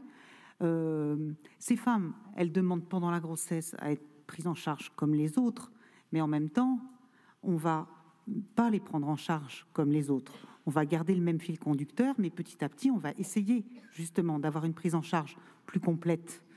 Et la place du médecin généraliste, elle est quand même capitale, parce que c'est le seul qui reçoit la patiente sans rendez-vous c'est euh, celui qui va pouvoir être là dans la continuité. C'est sûr qu'elles vont être itinérantes et changer d'endroit. Quand elles vont changer d'endroit, elles vont aller voir un nouveau médecin généraliste.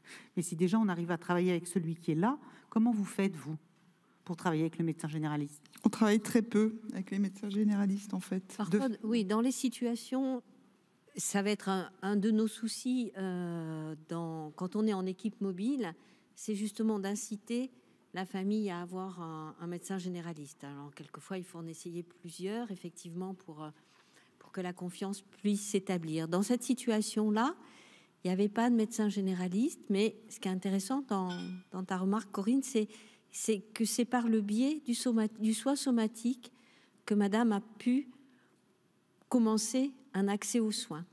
Jusqu'à la naissance du bébé, euh, on a parlé, on a évoqué de plein, plein, plein de choses euh, toutes les deux mais l'accès aux soins euh, n'était pas possible. Une fois qu'elle a été rassurée sur cette grossesse, la naissance du bébé, le regard des professionnels sur elle en tant que mère, elle a pu s'autoriser à penser autre chose. Et il se trouve qu'à la suite d'une consultation, justement en suite de couche, voilà, elle a reçu un diagnostic qui était quand même assez grave. Du coup, j'ai continué l'équipe mobile pour elle de ce côté-là, du côté des soins, et c'est par ce biais-là qu'elle a pu accéder à un soin somatique, se confronter à faire des choix thérapeutiques, et puis ensuite euh, d'envisager de, pouvoir euh, consulter euh, un peu dans la suite de l'équipe mobile, ce que j'ai travaillé comme relais, c'était de pouvoir voir un psychologue un peu régulièrement. c'est vrai que sur la question des généralistes, on travaille peut-être pas beaucoup avec eux, mais euh, ce qu'on a, voulu vous montrer aussi, c'est que le travail de réseau, c'est pas forcément euh, que tout le monde soit au courant de tout tout le temps. Voilà. Il y a, si on veut euh, que, que ce soit finalement les femmes elles-mêmes qui puissent reprendre un petit peu la, finalement la coordination de leurs propres soins, hein, euh, eh ben, il faut leur laisser un peu la main. Et là, on lui a laissé la main à elle sur le suivi de cette grossesse. euh, mais parce qu'on la connaissait d'avant. Euh, et, je dirais peut-être que l'accès aux médecins généralistes, c'est un petit peu la même chose, c'est-à-dire que c'est vrai qu'il y a des temps, et la grossesse fait partie de ces temps-là, où la, concertation entre les différents professionnels est, hyper importante et, utile, mais ça n'est pas la continuité d'attention, c'est pas forcément créé. il faudrait pas que le, réseau qu'on voudrait être un filet de protection se transforme en, grille de prison, si vous voulez. Donc voilà, on est toujours à faire attention, nous, en tant que professionnels, à, cette dimension et euh, à laisser des marges de manœuvre et de, choix aussi euh, aux patients. Je vous remercie vraiment et je vous applaudis chaleureusement. Merci.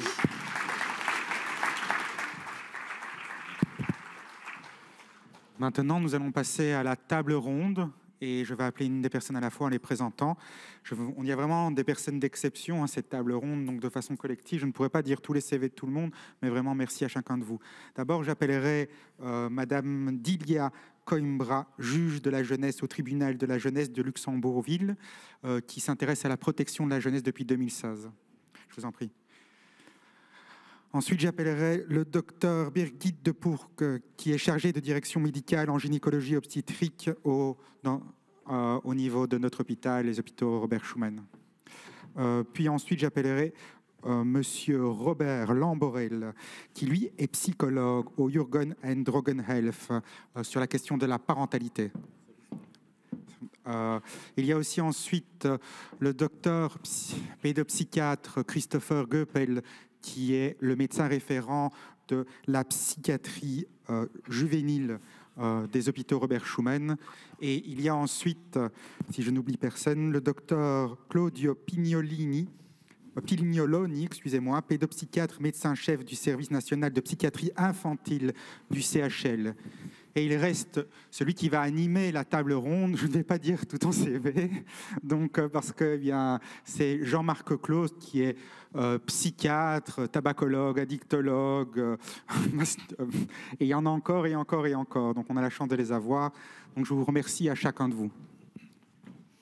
On les applaudit si vous voulez.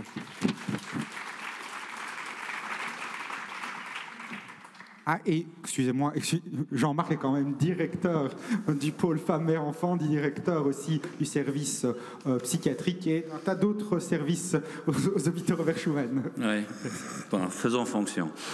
Euh, donc, euh, le désavantage de l'animateur, c'est qu'il doit rester debout.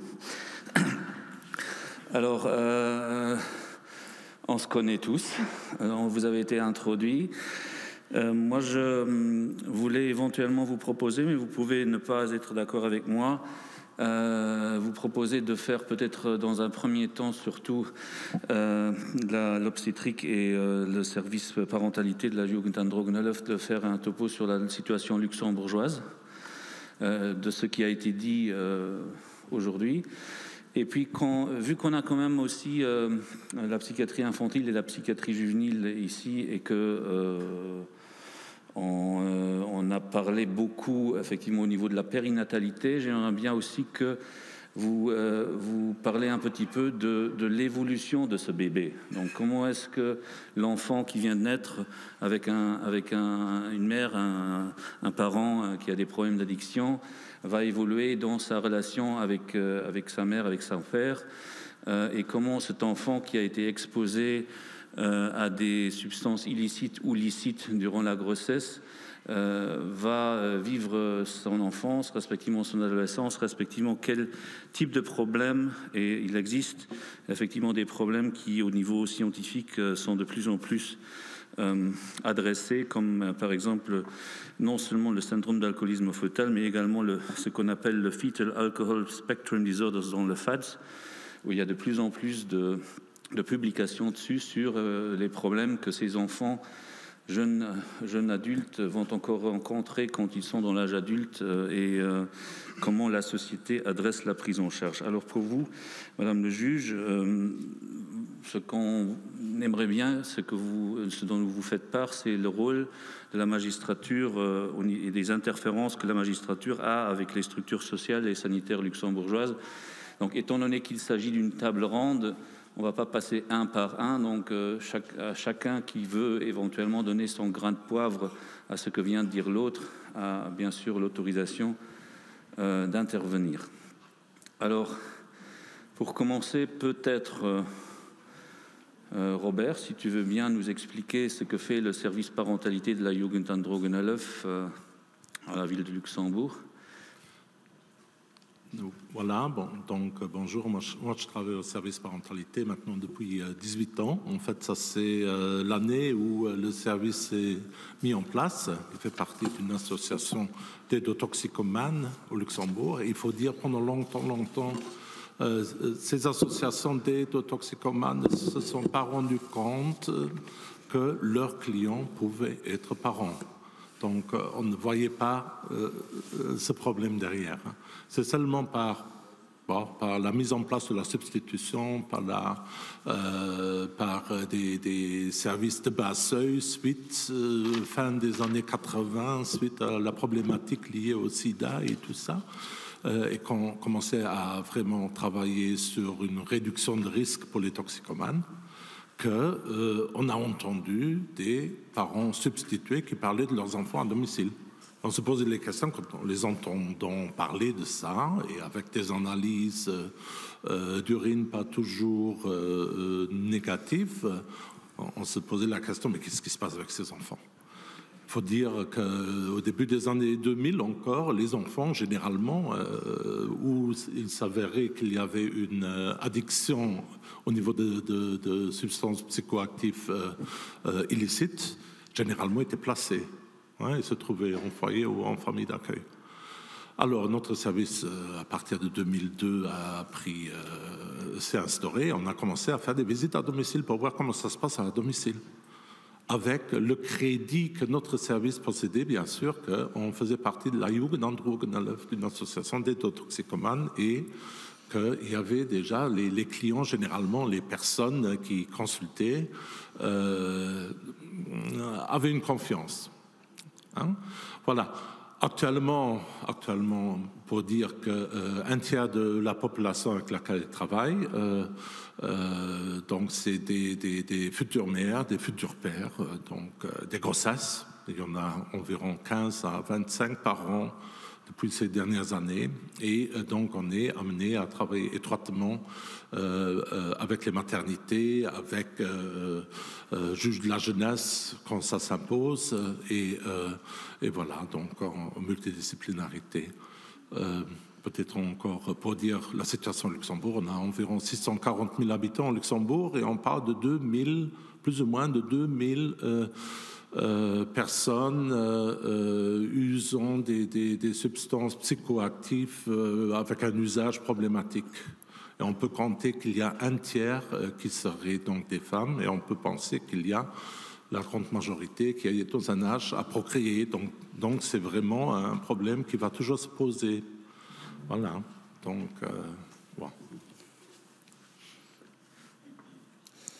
Et euh, Birgit, l'interface que le service parentalité a avec euh, la maternité, euh, bon, vous avez des interfaces bien sûr avec d'autres hôpitaux aussi, mais avec l'hôpital dans lequel tu travailles, tu le vis comment? Hum, C'est au début. J'ai appris aujourd'hui qu'il y a encore beaucoup à faire, qu'il y a encore beaucoup à développer. Et euh, ce que je pense, un grand problème chez nous au Luxembourg, surtout dans notre clinique, c'est que les médecins travaillent euh, en façon libérale. Donc la, la, la communication euh, est vraiment encore à élaborer. on est en train, mais j'ai appris qu'il y a encore beaucoup à, à faire pour le moment. Mm on aimerait bien informer à temps, peut-être un peu plus tôt. C'est ce que euh, la polyclinique m'a dit, parce que pour organiser tout, pour euh, tout mettre en place, euh, ça serait, pour vous, c'est peut-être évident. Vous travaillez tous les jours avec, avec les gens. Pour nous, c'est quand même encore quelque chose de spécial, donc on aimerait bien être informé encore plus tôt, si c'est possible. Voilà, on a beaucoup entendu parler de l'ELSA, donc l'équipe des liaisons en soins addictologiques. Donc je vais peut-être intervenir un peu à ce niveau-là pour dire que ça n'existe pas au Luxembourg. Donc euh, tu viens de faire des suggestions pour améliorer la situation chez nous. Euh, bon, il y a maintenant un plan euh, d'action luxembourgeois du mésusage de l'alcool.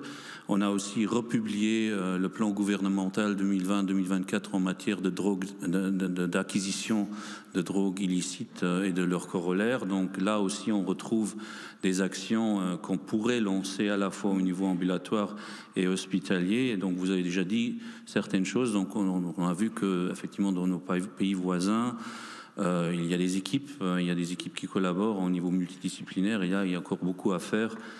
Euh, c'est un petit peu ce que vous, ce que vous, vivez, ce que vous vivez aussi. Mm-hmm. oui, oui, je pense qu'il a allumé. Voilà. Alors nous, du côté de la magistrature, donc moi je fais partie, donc je pense, de la dernière personne qui intervient quand donc toutes les mesures ambulatoires, euh, sociales, médicales ont été mises en place au cours de la grossesse. Et puis euh, malheureusement, donc, je fais partie, donc ici à Luxembourg, c'est le juge de la jeunesse qui place.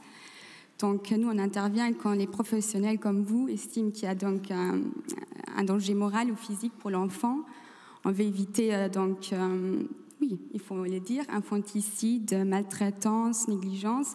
Et donc de notre côté, je dois dire la collaboration avec les professionnels qui existent à ce jour est très bonne parce que euh, on ne voit pas beaucoup de, cas où ça se passe mal. On n'a pas vraiment, euh, comme j'ai dit, euh, les bébés secoués, les bébés négligés. Je pense qu'on intervient assez tôt quand même, donc grâce au travail des professionnels qui sont faits sur le terrain.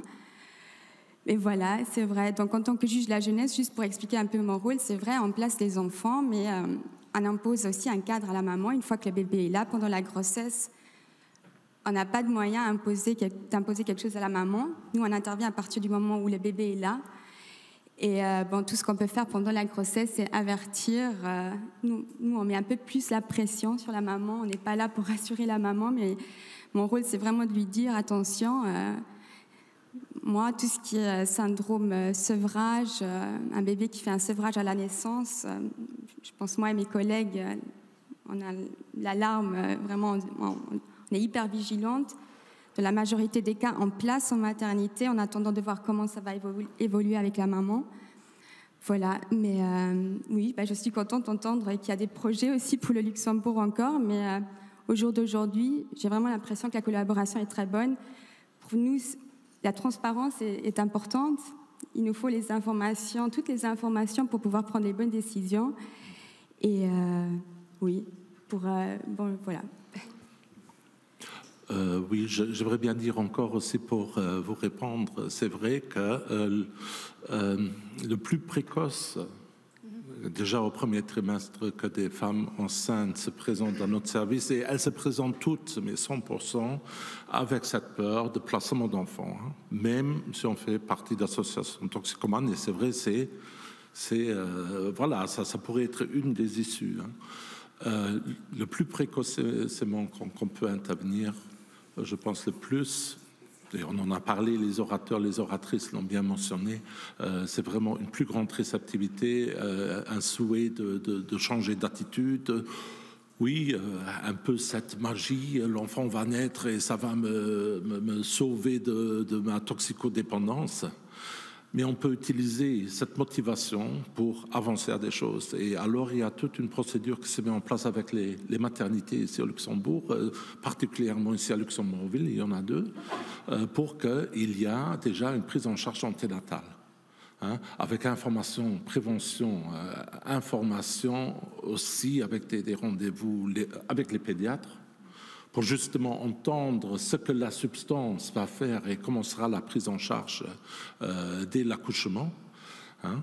Euh, c'est aussi un moment propice, en fait, pour euh, tout ce qui est psychothérapeutique. Il ne faut pas l'oublier. Ici au Luxembourg, on a la chance d'avoir un, centre de posture, un centre de, de, thérapie résidentielle Montanar, euh, qui accueille des femmes enceintes et qui peut accueillir des femmes avec des bébés. Bon, malheureusement seulement pour trois places, ce qui n'est certainement pas suffisant, mais il y a là naturellement il y a des choses qui peuvent se mettre en place pour répondre aussi à ce souhait de la femme. Bon, je suis, euh, je suis dans une situation où j'aimerais bien prendre les choses en main. Voilà. Et, nous, on fait cet accompagnement euh, à travers tout un réseau de professionnels. Et les premières questions qui se posent, c'est vrai, c'est addictologique.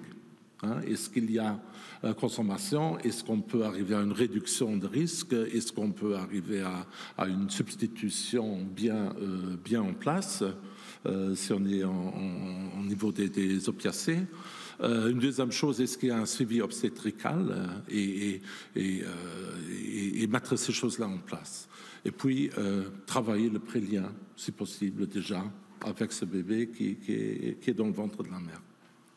Donc les structures Betreutes Wohnen, euh, etc., ça existe pour seulement à Manternach ou il y a encore d'autres, d'autres endroits? Parce que bon, dans le plan euh, drogue 2020-2024, on en parle.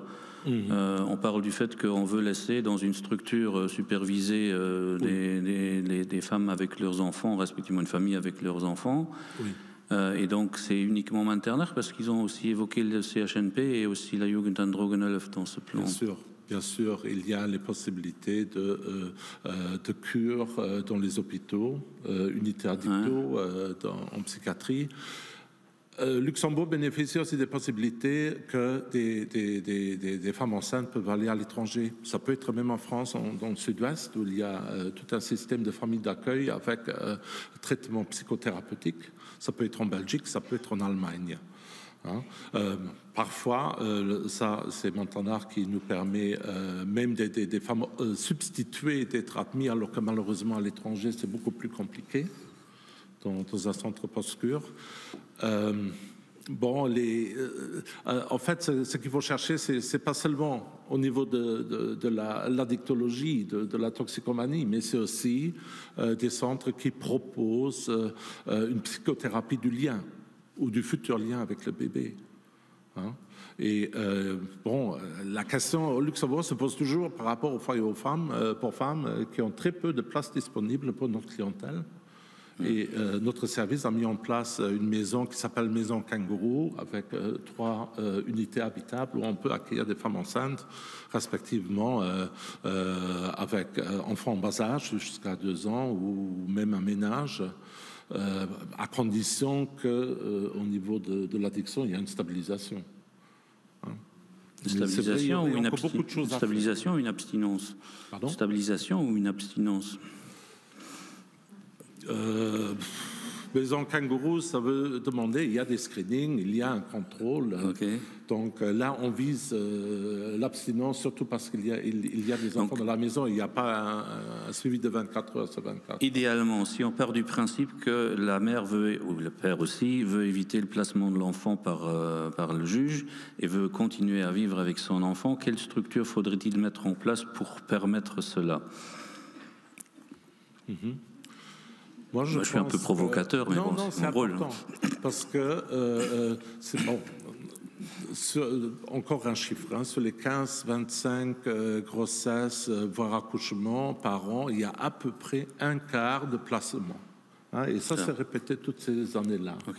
Donc, où il y a vraiment un placement dans la maternité dès l'accouchement, la, dès parce que la situation n'est pas stabilisée parfois les parents se signent parce qu'ils voient très bien que leur situation n'est pas OK. Et si on, a réussi déjà à arriver à ce point-là, que les parents peuvent dire, bon voilà, on n'est pas en situation là mm. actuellement de le faire.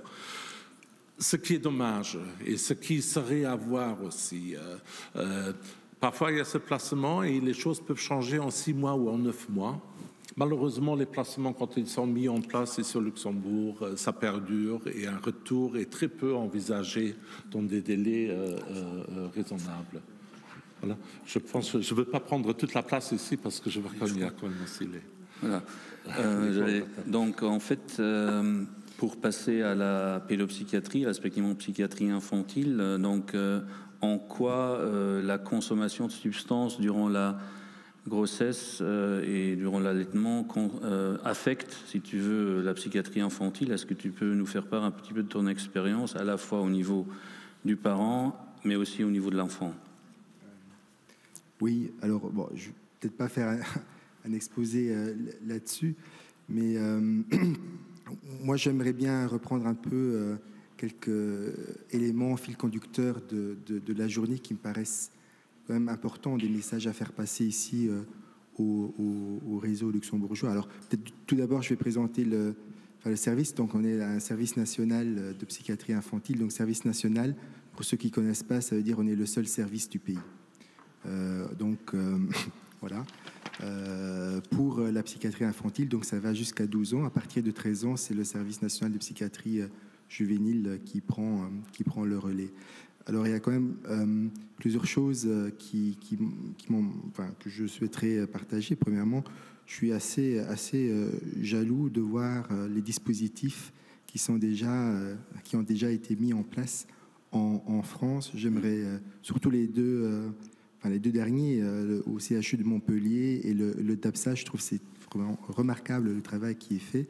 Je suis vraiment jaloux, j'aimerais bien avoir de tels dispositifs ici au Luxembourg. Mais bon, comme souvent, le Luxembourg, euh, on, regarde ce que font nos grands voisins allemands, français et belges. Avec du retard, on essaie de, remettre, mettre ça en place. Euh, alors, pour la psychiatrie infantile, je dirais, euh, on travaille beaucoup le lien et la relation mère-enfant. un enfant, il ne se développe pas tout seul, c'est toujours en relation avec avec ses parents. Euh, et, donc, on va beaucoup travailler là-dessus. Et entre autres, euh, on a des, euh, au sein de notre service une consultation mère-bébé qu'on aimerait développer. On manque un peu de moyens. Il y a des discussions en cours. Alors, il faut savoir aussi que notre service est repris, donc service de, de psychiatrie infantile, est repris quand même dans le pôle mère-enfant et pas dans le pôle des neurosciences. Euh, et, donc, bah, l'accueil, la qualité euh, d'accueil des parents, de la mère et euh, du père, que ce soit une problématique de dépendance ou autre, est éminemment important. Donc, il y avait le premier message passé ce matin, c'est-à-dire de, les accueillir sans, jugement, tels qu'ils sont et aussi de pouvoir être touché par euh, bah, leur parcours de vie accidenté, parce que souvent euh, c'est euh, des parents traumatisés, pas n'importe quel trauma, c'est vraiment le trauma du manque, donc du, de ce qui a fait défaut. Donc on a un peu discuté le manque d'un portage, le manque d'un étayage qui fait que au niveau euh, relationnel pour ces personnes-là. La relation euh, est vécue comme quelque chose qui ne coule pas de source, qui est discontinu, qui peut être effractante, qui peut être traumatisante. Et d'où l'importance de pouvoir aussi travailler à ce niveau-là. Il y a une phrase qui est tombée et que je trouvais vraiment géniale, c'est dire de, à force d'écoute, de les prendre comme des patients VIP, c'est qu'elles puissent faire confiance à l'autre plutôt qu'à la substance. Et en se faisant ça, je pense qu'on aide non seulement les parents, mais on aide alors aussi l'enfant dans son développement euh, futur. Alors après, les, conséquences sont multiples. Ça, je ne sais pas s'il faut faire une liste exhaustive. Ça, ça, va des, des, conséquences au niveau euh, neurocognitif, euh, aux troubles des, euh, apprentissages, aux troubles de, l'attachement. Mais je pense vraiment le, le, plus important, c'est faire vraiment ce travail relationnel, euh, d'aider, euh, de les aider à accéder à une parentalité et de faire confiance à la relation à l'autre. Tu l'as dit Claudio, donc dans la mesure où donc non seulement tu as donc un parent ou peut-être même deux parents qui ont des problèmes d'addiction, mais tu as aussi un enfant qui, euh, j'ai fait un peu de la recherche de littérature, dans le cadre d'une surconsommation de cannabis, euh, tabac, cocaïne, ils peuvent avoir des troubles cognitifs à long terme, des troubles du comportement, des retards de croissance, éventuellement même des symptomatologies psychiatriques comme l'anxiété et la dépression. Et dans le cadre de l'alcool, on trouve des déficits au niveau cognition, fonction exécutive, mémoire, vision, audition, motricité, comportement et de l'adaptation sociale. Et donc tu as d'une part, d'un point de vue psychiatrique, euh, une prise en charge d'une mère, d'un père ou d'un couple euh, avec des problèmes psychiatriques, mais aussi d'un enfant qui a des problèmes que je qualifierais de neuropsychiatriques, donc neurologiques et psychiatriques, et euh, comment ça va évoluer quand, quand ça passe en psychiatrie juvénile.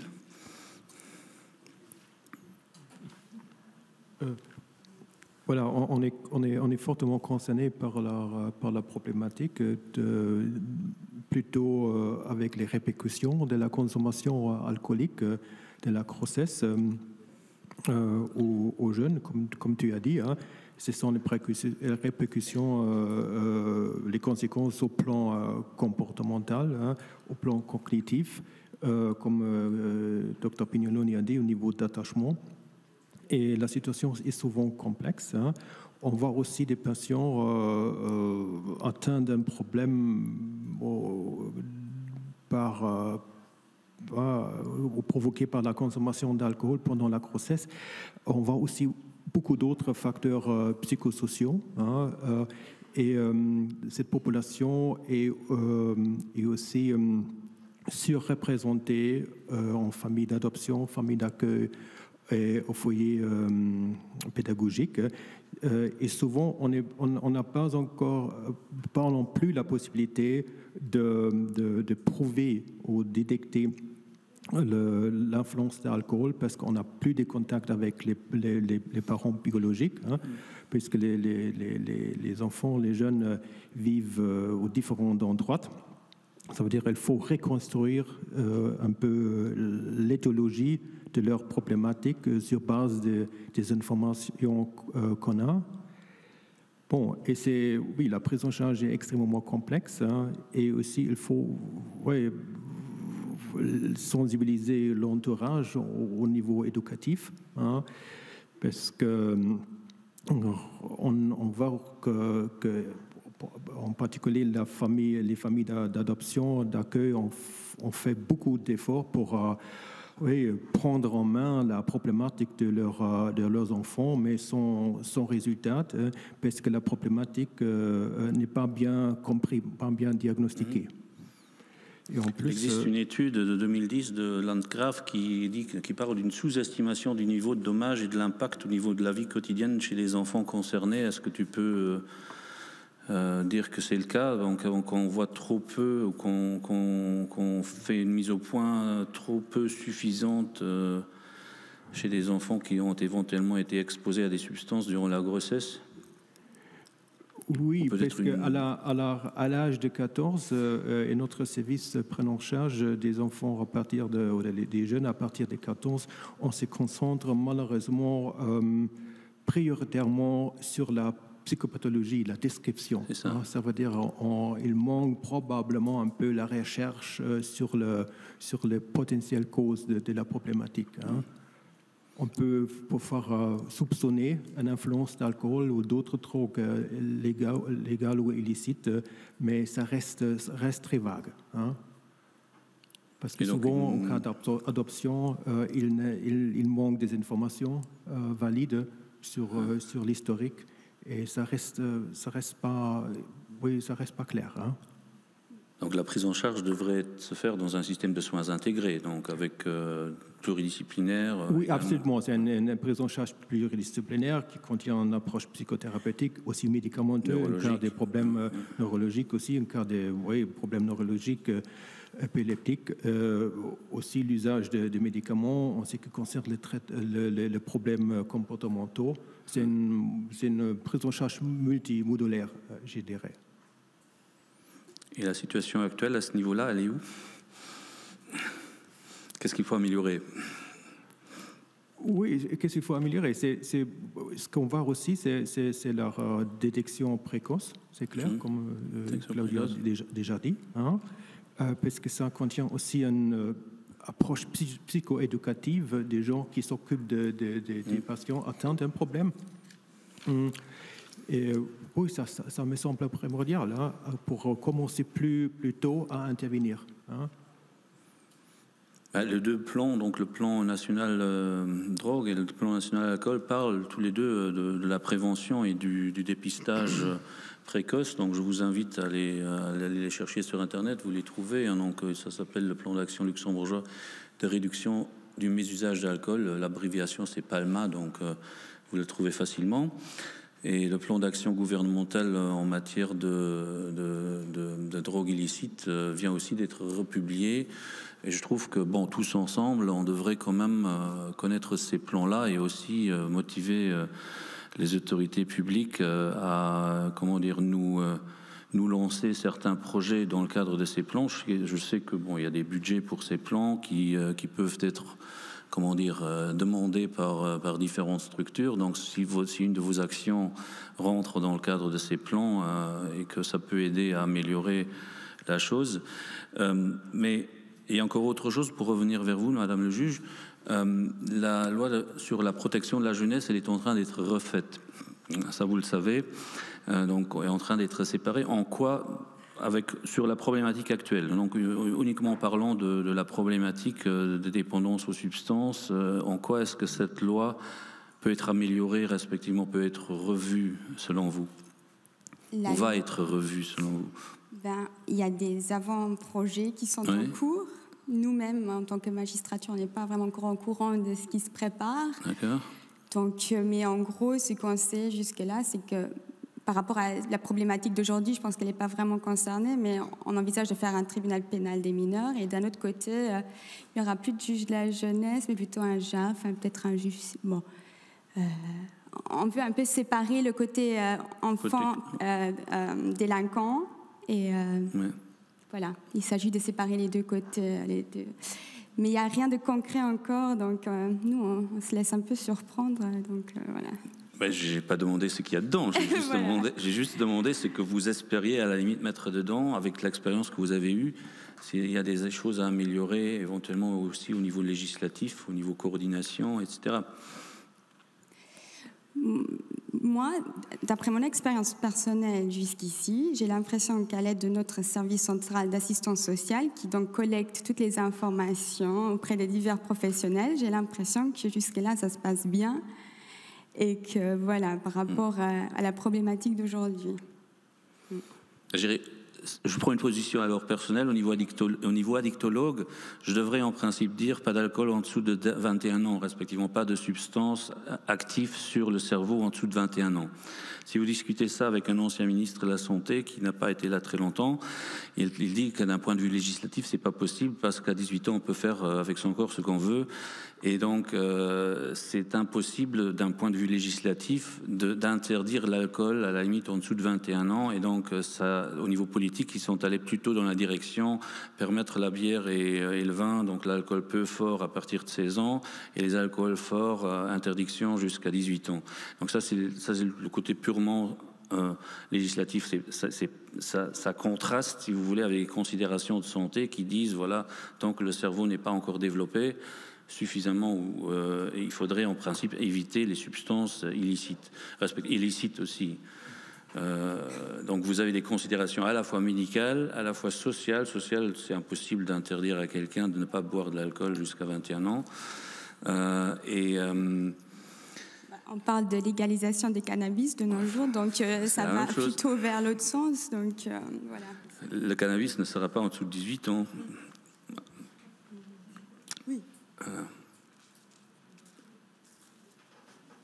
Robert. oui.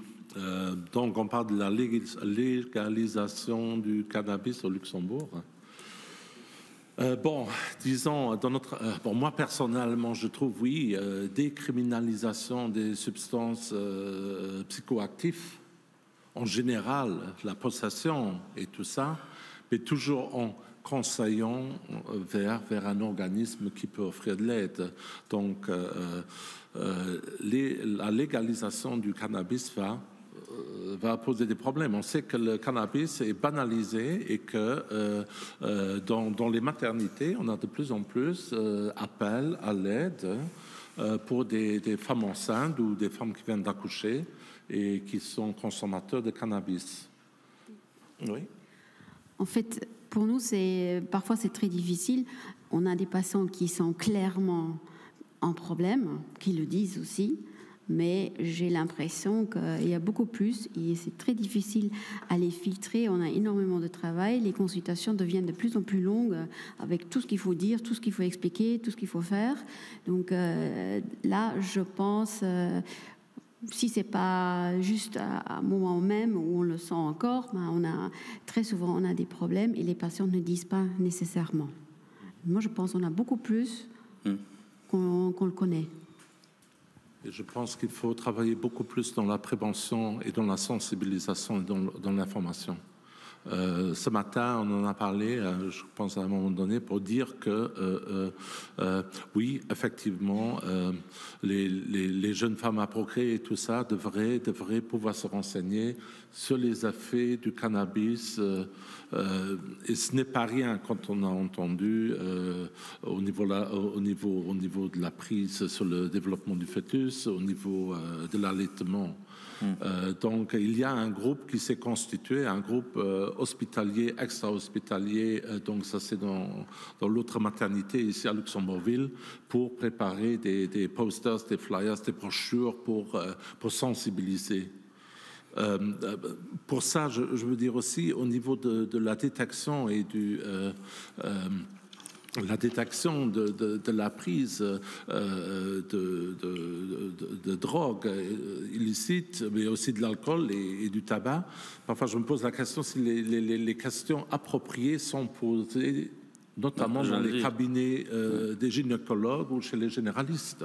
Euh, du- Parce il y a que eu c'est souvent à la tête euh, du client. euh, bon, c'est vrai que nous, on a affaire beaucoup avec une population défavorisée. Il y a eu mais c'est des- pas seulement là où se trouve le Il y problème. a eu des mesures euh, type euh, pas d'alcool pendant la grossesse et la- la- et l'allaitement. hein. tu as quand même encore, euh, pour l'avoir vécu moi-même, euh, effectivement avec des patientes, des, même des médecins qui disent un verre durant la grossesse, euh, c'est- c'est c'est rien. Donc il y a une attitude, euh, il y a une attitude qui n'est pas encore passée dans les, dans, dans les têtes de tout le monde.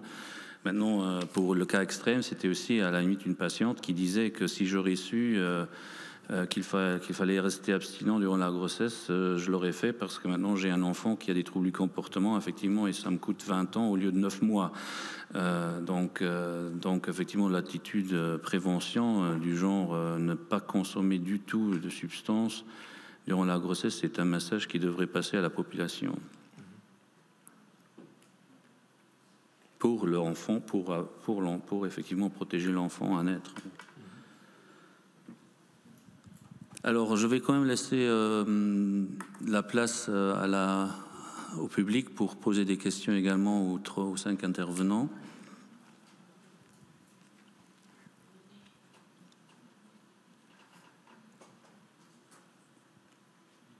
Je suis sage-femme en polyclinique Bollaire, je m'appelle Véronique. Je suis également tabacologue.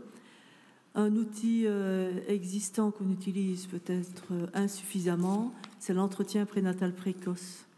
Parce que là, c'est du temps qu'on a en tant que sage-femme pendant trois quarts d'heure, euh, voire parfois une heure, avec des patientes, où sont abordés pas uniquement le sujet médical. Et c'est on est fort dans le respect, l'écoute de la patiente. Et je pense que s'il était plus systématisé, on pourrait peut-être faire plus euh, de dépistage et puis euh, ensuite orienter les Mm. patientes, euh, bien sûr, vers les, structures appropriées. Et euh, j'ai quelques petites consultations de tabacologue aussi. Et là, ça m'est arrivé très régulièrement de signaler euh, quand enfin, j'agis en tant que tabacologue, évidemment, quand ça dépasse mes compétences, j'oriente la patiente, soit vers le psychiatre, euh, soit vers un autre spécialiste la santé, où il y a un staff euh, psychomédical qui se fait régulièrement à la clinique. J'en parle euh, au staff, si la patiente, bien sûr, est d'accord. Mhm.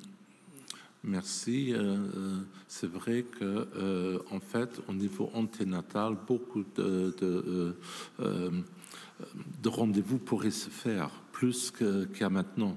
Euh, nous, généralement, quand on a une femme enceinte qui, vient chez nous, euh, qui euh, donc a des problèmes de, consommation, on contacte les services sociaux, social des maternités concernées et on cherche de, prendre rendez-vous en commun avec la famille en ayant pris soin de les gagner pour ces démarches-là. Euh, aussi pour préparer euh, un séjour en, kangourou, en, portage, comme il existe à la maternité du centre hospitalier et comme il est appliqué aussi ici euh, à la Bolaire. Hein. Mais vous avez raison, il, faudrait peut-être bien plus les rendez-vous avec les pédiatres se mettent aussi en place dans l'anténatal, mais certainement qu'il y aurait encore beaucoup, beaucoup de choses à faire. Ah oui, on, a la chance de, travailler avec une, une, infirmière spécialisée en approche corporelle, premier secours émotionnel donc, euh, qui consiste à des massages qui se font euh, en, anténatal et en postnatal. Et c'est quelque chose de très important pour relier, euh, oui, des personnes fracassées par la vie et tout ça aussi au niveau du, corporel, grâce à des donations, parce que sinon on ne pourrait pas le payer non plus. Hein. Mais, mais on a vu que ça, c'est des, des, choses à mettre en place. Pas l'air d'aller. Ah, si, voilà. De mon côté, il y a une question sur, euh, en externe sur Internet. C'est une sage-femme qui demande que veut dire une consommation moyenne d'une consommation de cannabis, puisqu'elle a un patient qui consomme un gramme par jour. C'est une question sur Internet.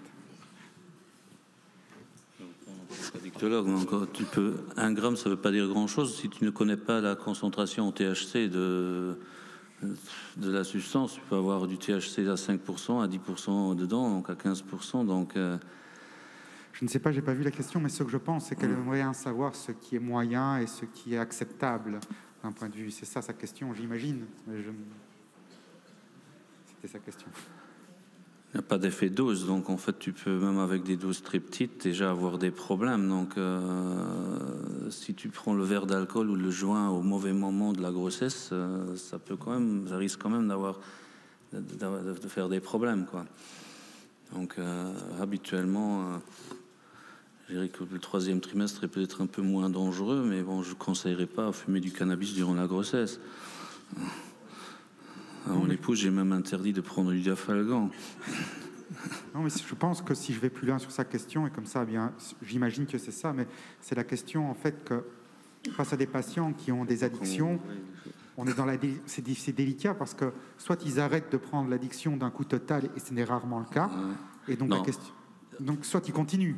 Non, la réduction de la dose, elle est toujours mieux qu'une dose forte. Donc effectivement, quand tu as quelqu'un qui, euh, qui consomme une substance, n'importe laquelle, mhm. et qui arrive à la, à la consommer d'une façon continue, c'est mieux que s'il consomme effectivement. Euh, donc, parce que le fait d'avoir des variations de sang, dans le sang de la dose, c'est pas bon pour le, pour le fœtus.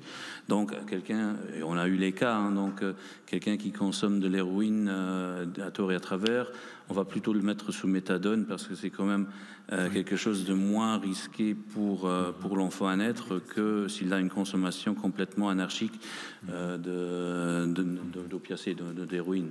Oui. dans notre accompagnement, et je crois en général, on ne va pas demander un arrêt de la consommation. Si on va viser la réduction de consommation, on va essayer de gagner les personnes de parler ouvertement de leur consommation.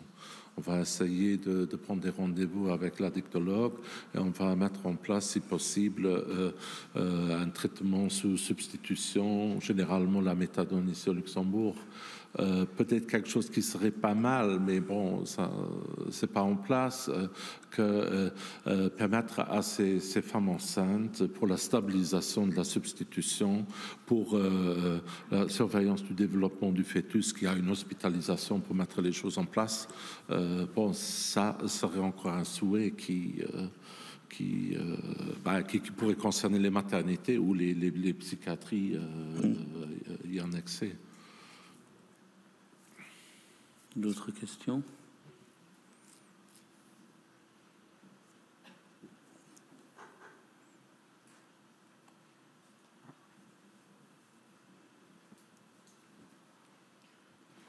Bonjour, euh, mon nom est Rech Michel, je suis responsable soignante au centre thérapeutique des toxicomanes à Montagnard.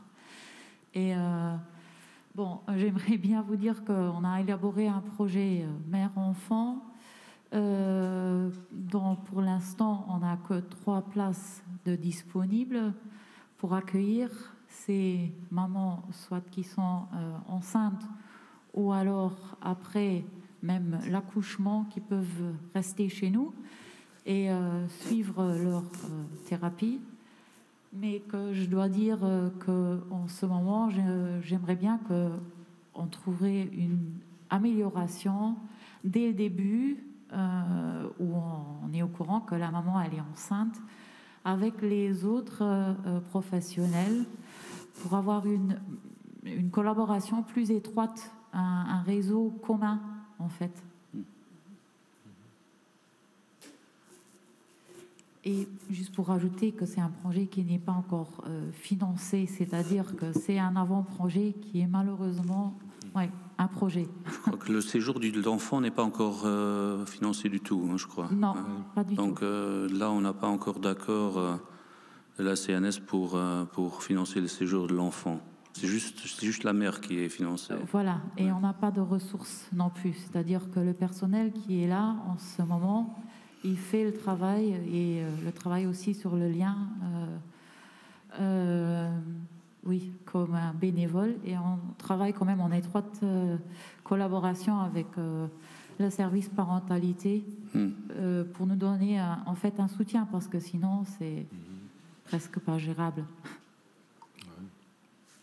Un des souhaits, ce serait effectivement des, des, des, des structures de soins euh, pour euh, mère, bah oui, pourquoi pas, mère, père, enfant, euh, pour l'apprentissage à l'attachement, au lien, au, bonding, au nursing, tout ce qu'on veut, et, ça manque. et, c'est vrai, et, je pense que ça éviterait certainement, s'il y avait des possibilités comme ça, quelques placements qui doivent se faire parce que l'enfant n'est pas en sécurité.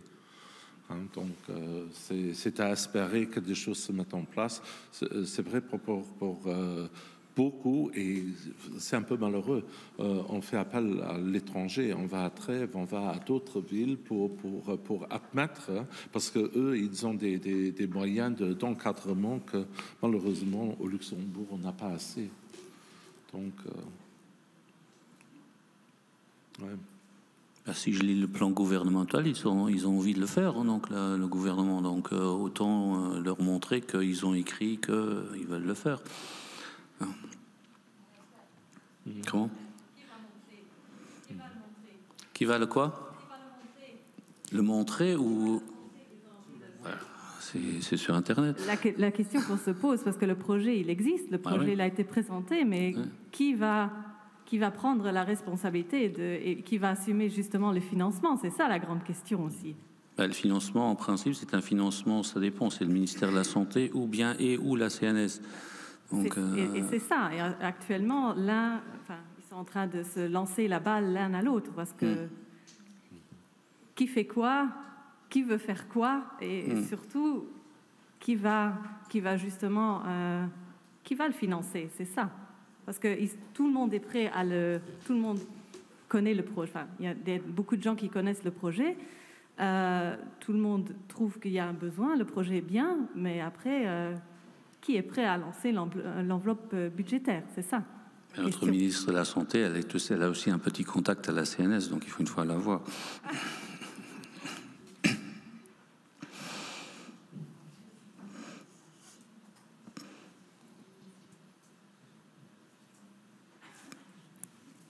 J'aurais une question à Madame Coimbra, parce que je suis toujours un peu fasciné par les décisions des juges, euh, parce que ça me paraît d'une responsabilité qui est énorme.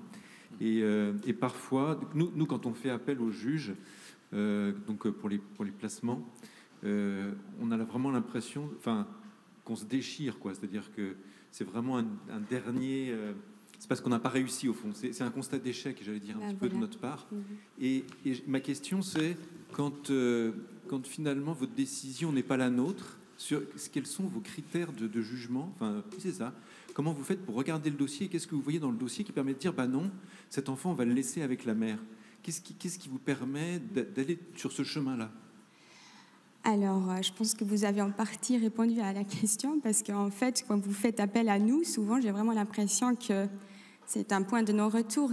C'est des situations la plupart critiques, donc euh, la plupart du temps, on suit la vie des professionnels et c'est pour ça que je disais que la transparence notre métier à nous est vraiment importante. Il nous faut toutes les informations pour pouvoir prendre la décision qu'il faut. J'ai pas l'impression que quand on a euh, une équipe de sages-femmes et euh, des psychologues qui préconisent un placement que souvent on va à l'encontre du placement. Au contraire, parfois on est peut-être un peu trop prudente. Dans un premier temps, on place et puis euh, on regarde, on met en place quelque chose d'ambulatoire. Mais c'est rare qu'on aille à l'encontre d'avis de professionnels. Justement, nous, on est juristes, on reste à notre place et on s'appuie beaucoup sur l'avis donc, euh, tous ces professionnels qui sont là, notamment aujourd'hui. Donc voilà. En tout cas, moi, il m'arrive rarement de ne pas placer alors qu'il n'y a pas une personne qui me suit euh, sur, même, euh, sur la même voie. Voilà.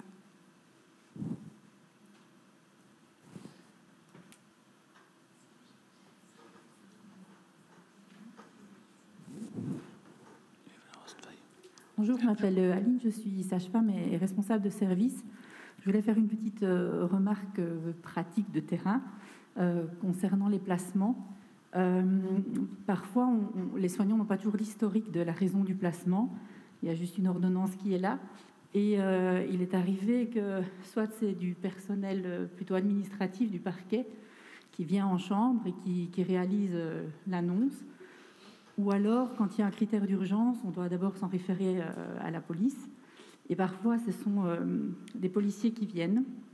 le vécu du terrain, quand la police vient, et se présente, c'est parfois un peu plus compliqué parce que euh, une fois qu'ils ont pris l'enfant ou qu'ils ont décidé ou avisé les, parents du placement, ça laisse parfois les soignants après dans une situation euh, où ils se retrouvent avec euh, un couple parfois énervé ou avec des réactions violentes, alors que avant le contact était plutôt bon avec les parents.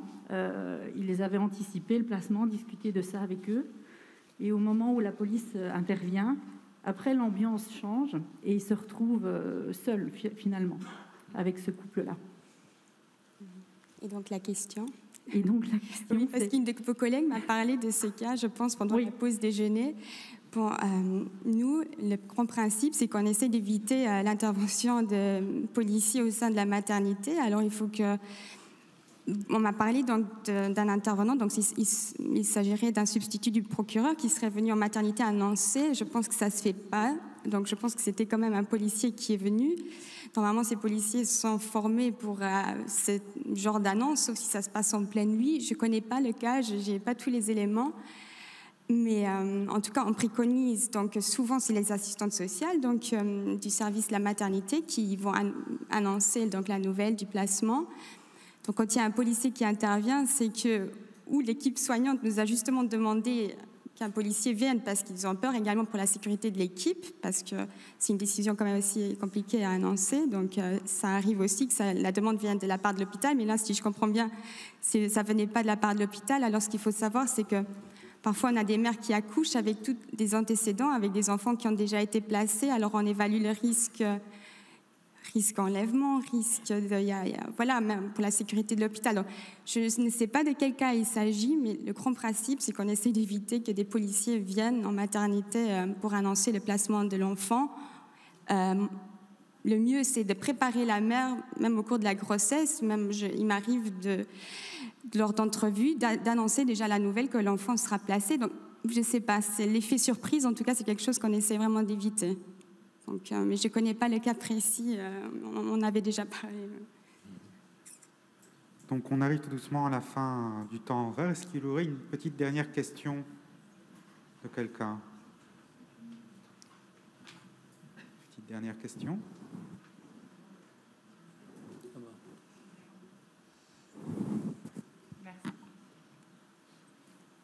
Euh, juste dans la, dans la continuité de ce qui a pu être dit euh, par les collègues sur les dispositifs peut-être manquants euh, aujourd'hui au Luxembourg. Donc, comme je m'étais présentée un peu plus tôt, nous on travaille auprès de femmes grandement marginalisées, toxicomanes à la Brigado, et plus particulièrement avec les femmes. Donc, on a un groupe d'écoute hein, depuis quatre ans maintenant, et force est de constater qu'aujourd'hui au Luxembourg, il n'y a pas de structure d'hébergement pour femmes toxicomanes. On est grandement en difficulté pour les orienter, que ce soit, bah, en fait, pour accéder à du soin, il faut avoir une stabilité au niveau de l'hébergement, c'est une nécessité euh, de base. On ne se soigne pas tant qu'on est dans la rue. Et donc, pour avoir accès à ces femmes qui potentiellement seront des mères un jour ou qui, en tout cas, auront recours euh, aux services de maternité, que ce soit dans le cadre d'une IVG, de problèmes euh, divers et variés liés, euh, à la complexité de la femme et de sa santé, il nous faut pouvoir les héberger. Et aujourd'hui, on est grandement en difficulté pour héberger ces femmes toxicomanes au Luxembourg. Tout simplement. Ce n'est pas une question, c'est un constat de problème qui existe pour les toxicomanes vieillissants également. Donc effectivement, on a constaté. Et j'espère que le message passe à un certain moment, hein, Robert. C'est pas toi qui dois organiser.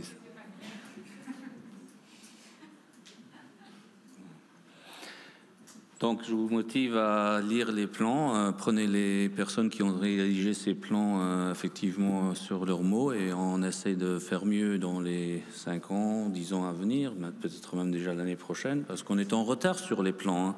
Il ne s'est rien passé en 2020, donc ils, ont le budget de 2020 qu'on peut encore utiliser pour organiser, respectivement pour faire des projets. Donc, euh, autant autant les demander parce que effectivement, je, bah, je c'est pas un secret. Le plan national alcool, euh, il a un budget de 200 000 euros par an.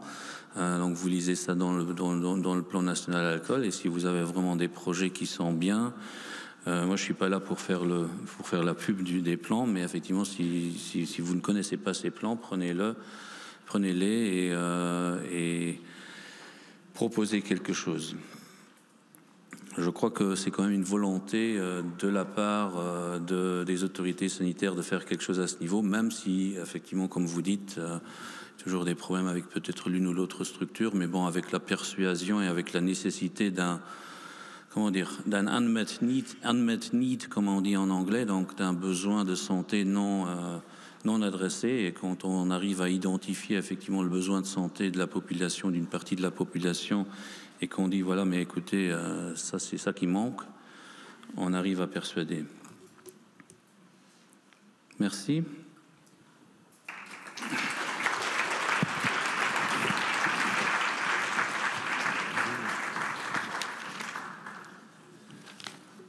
Voilà, merci à tous. Euh, j'ai donc juste la chance de clôturer cette journée. Euh, je vais être bref, bien évidemment, parce que tout le monde est fatigué. Euh, je remarque qu'il y a encore beaucoup de monde dans la salle, donc c'est que le sujet a intéressé euh, beaucoup de monde. Euh, je suis très heureux, bien évidemment, de, cette journée, mais je ne veux pas tomber dans l'autosatisfaction. je veux, au contraire, faire preuve d'humilité. Humilité parce que, bien qu'on a discuté assez profondément des sujets, je pense qu'on a effleuré essentiellement cette problématique de l'addiction et la périnatalité. Euh, beaucoup d'humilité aussi parce que, bien évidemment, la réussite de cette journée est liée à la qualité des orateurs, à leur implication et aussi à l'engagement du groupe de travail qu'on n'a peut-être pas assez souligné, qui a travaillé très dur pour l'élaboration de cette journée. Et aussi un grand merci à Catherine Buffard, je ne sais pas où elle est, qui s'est occupée de toute l'intendance euh, de cette journée et, et, non des moindres. Humilité aussi euh, parce que la qualité de cette journée, elle est vraiment liée à l'interaction que vous avez eue avec les orateurs. Euh, et ça, c'est vraiment assez exceptionnel cette année, je trouve. Et enfin, humilité, parce que c'est vous, en tant que professionnel, qui êtes confronté au quotidien avec cette lourdeur de prise en charge, cette responsabilité assez complexe aussi que vous prenez et donc, euh, de ce fait, euh, je tenais aussi à vous remercier pour votre travail quotidien et le travail de, des équipes euh, avec qui je travaille, qui est souvent très remarquable. Voilà, je vais m'arrêter là. Je vous souhaite vraiment un bon retour. Prenez soin de vous et au plaisir de se revoir.